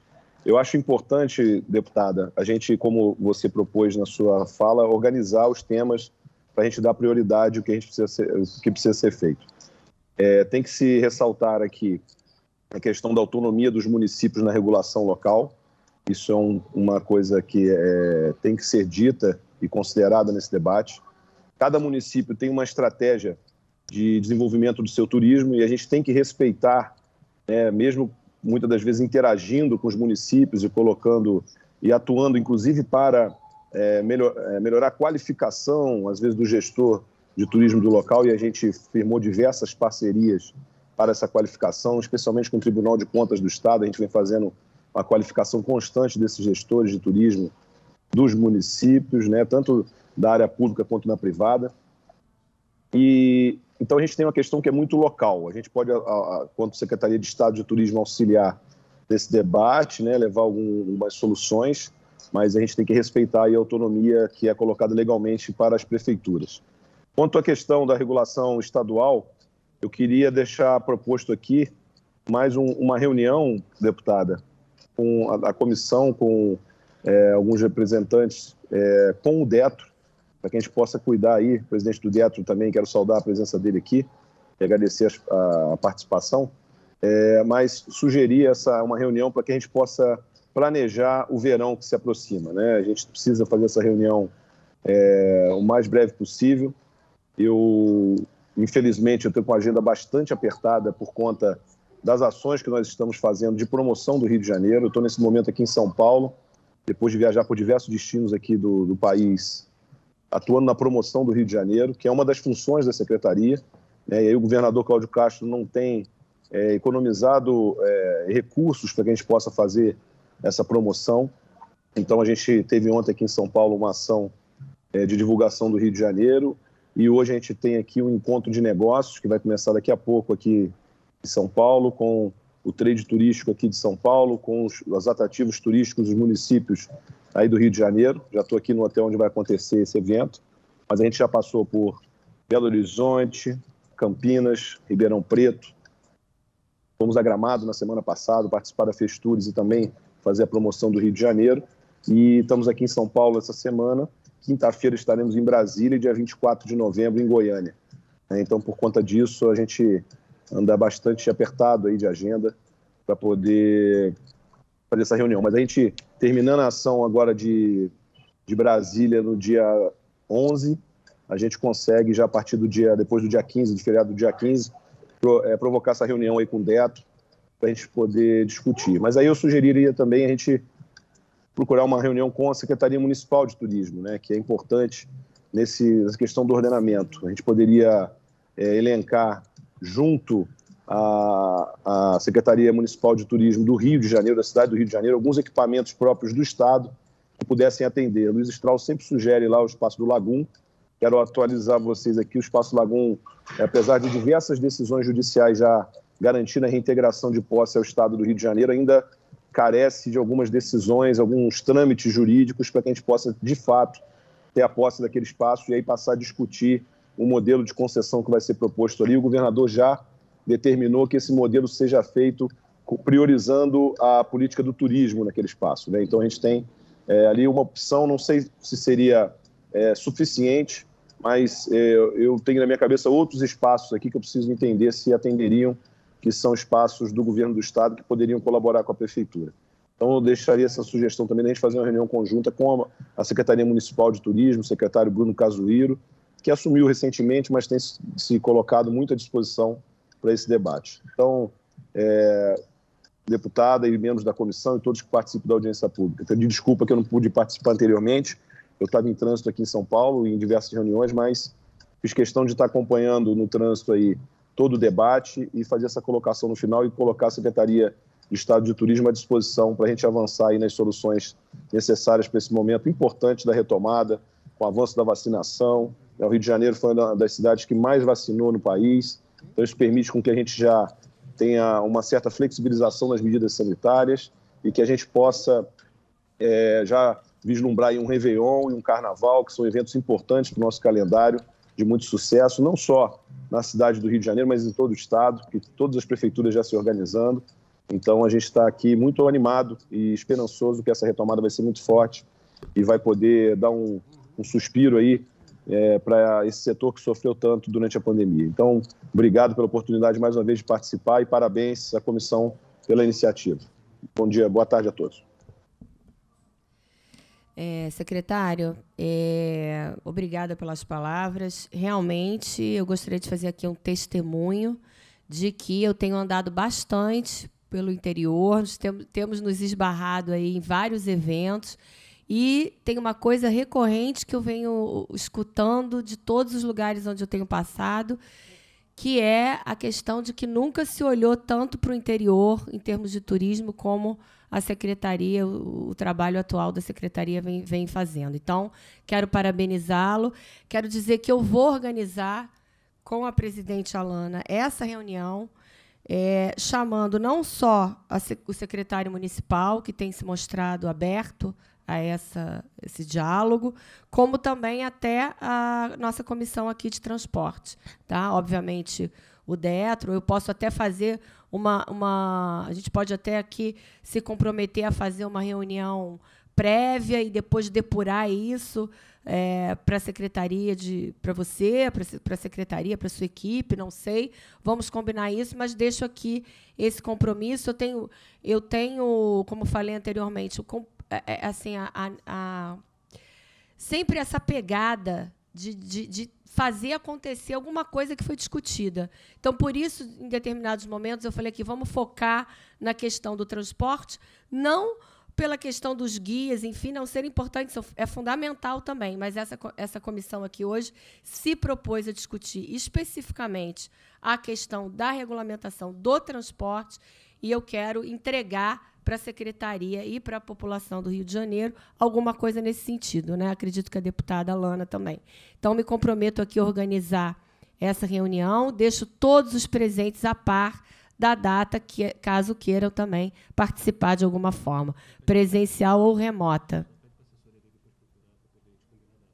Isso. Ah, ah, vamos entrar em contato com a sua assessoria, secretário, para combinar direitinho a data para caso Vossa Excelência não possa comparecer, alguém da sua, da sua equipe. E é isso, então. É...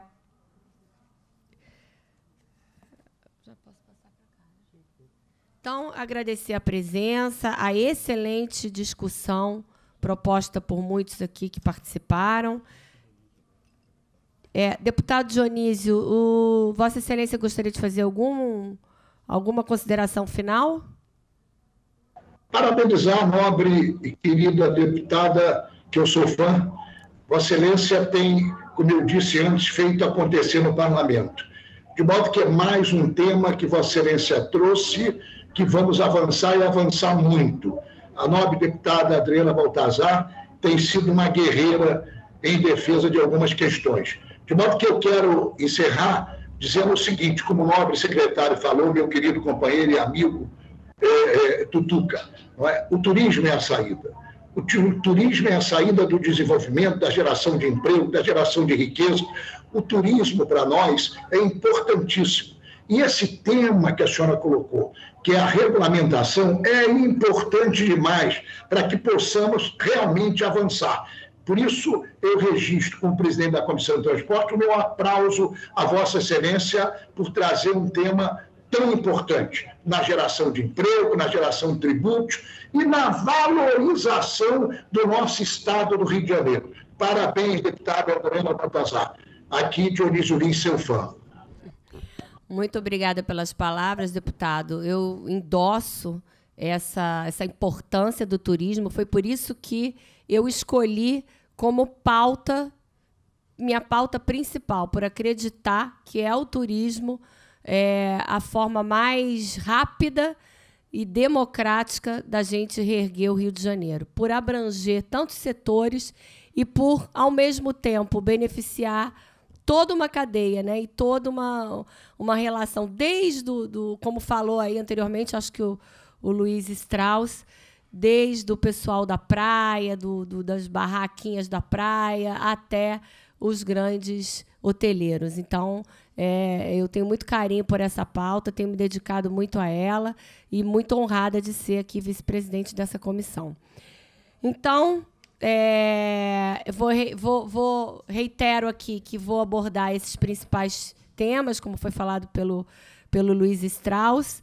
Uh, gostaria de agradecer ao Marco Navega por trazer essa questão tão importante. Ele tem sido um parceiro nosso sempre proativo, uh, querendo trabalhar nesse sentido e, e, e, e, se mostrando disposto a estar na frente e parceiro nas discussões.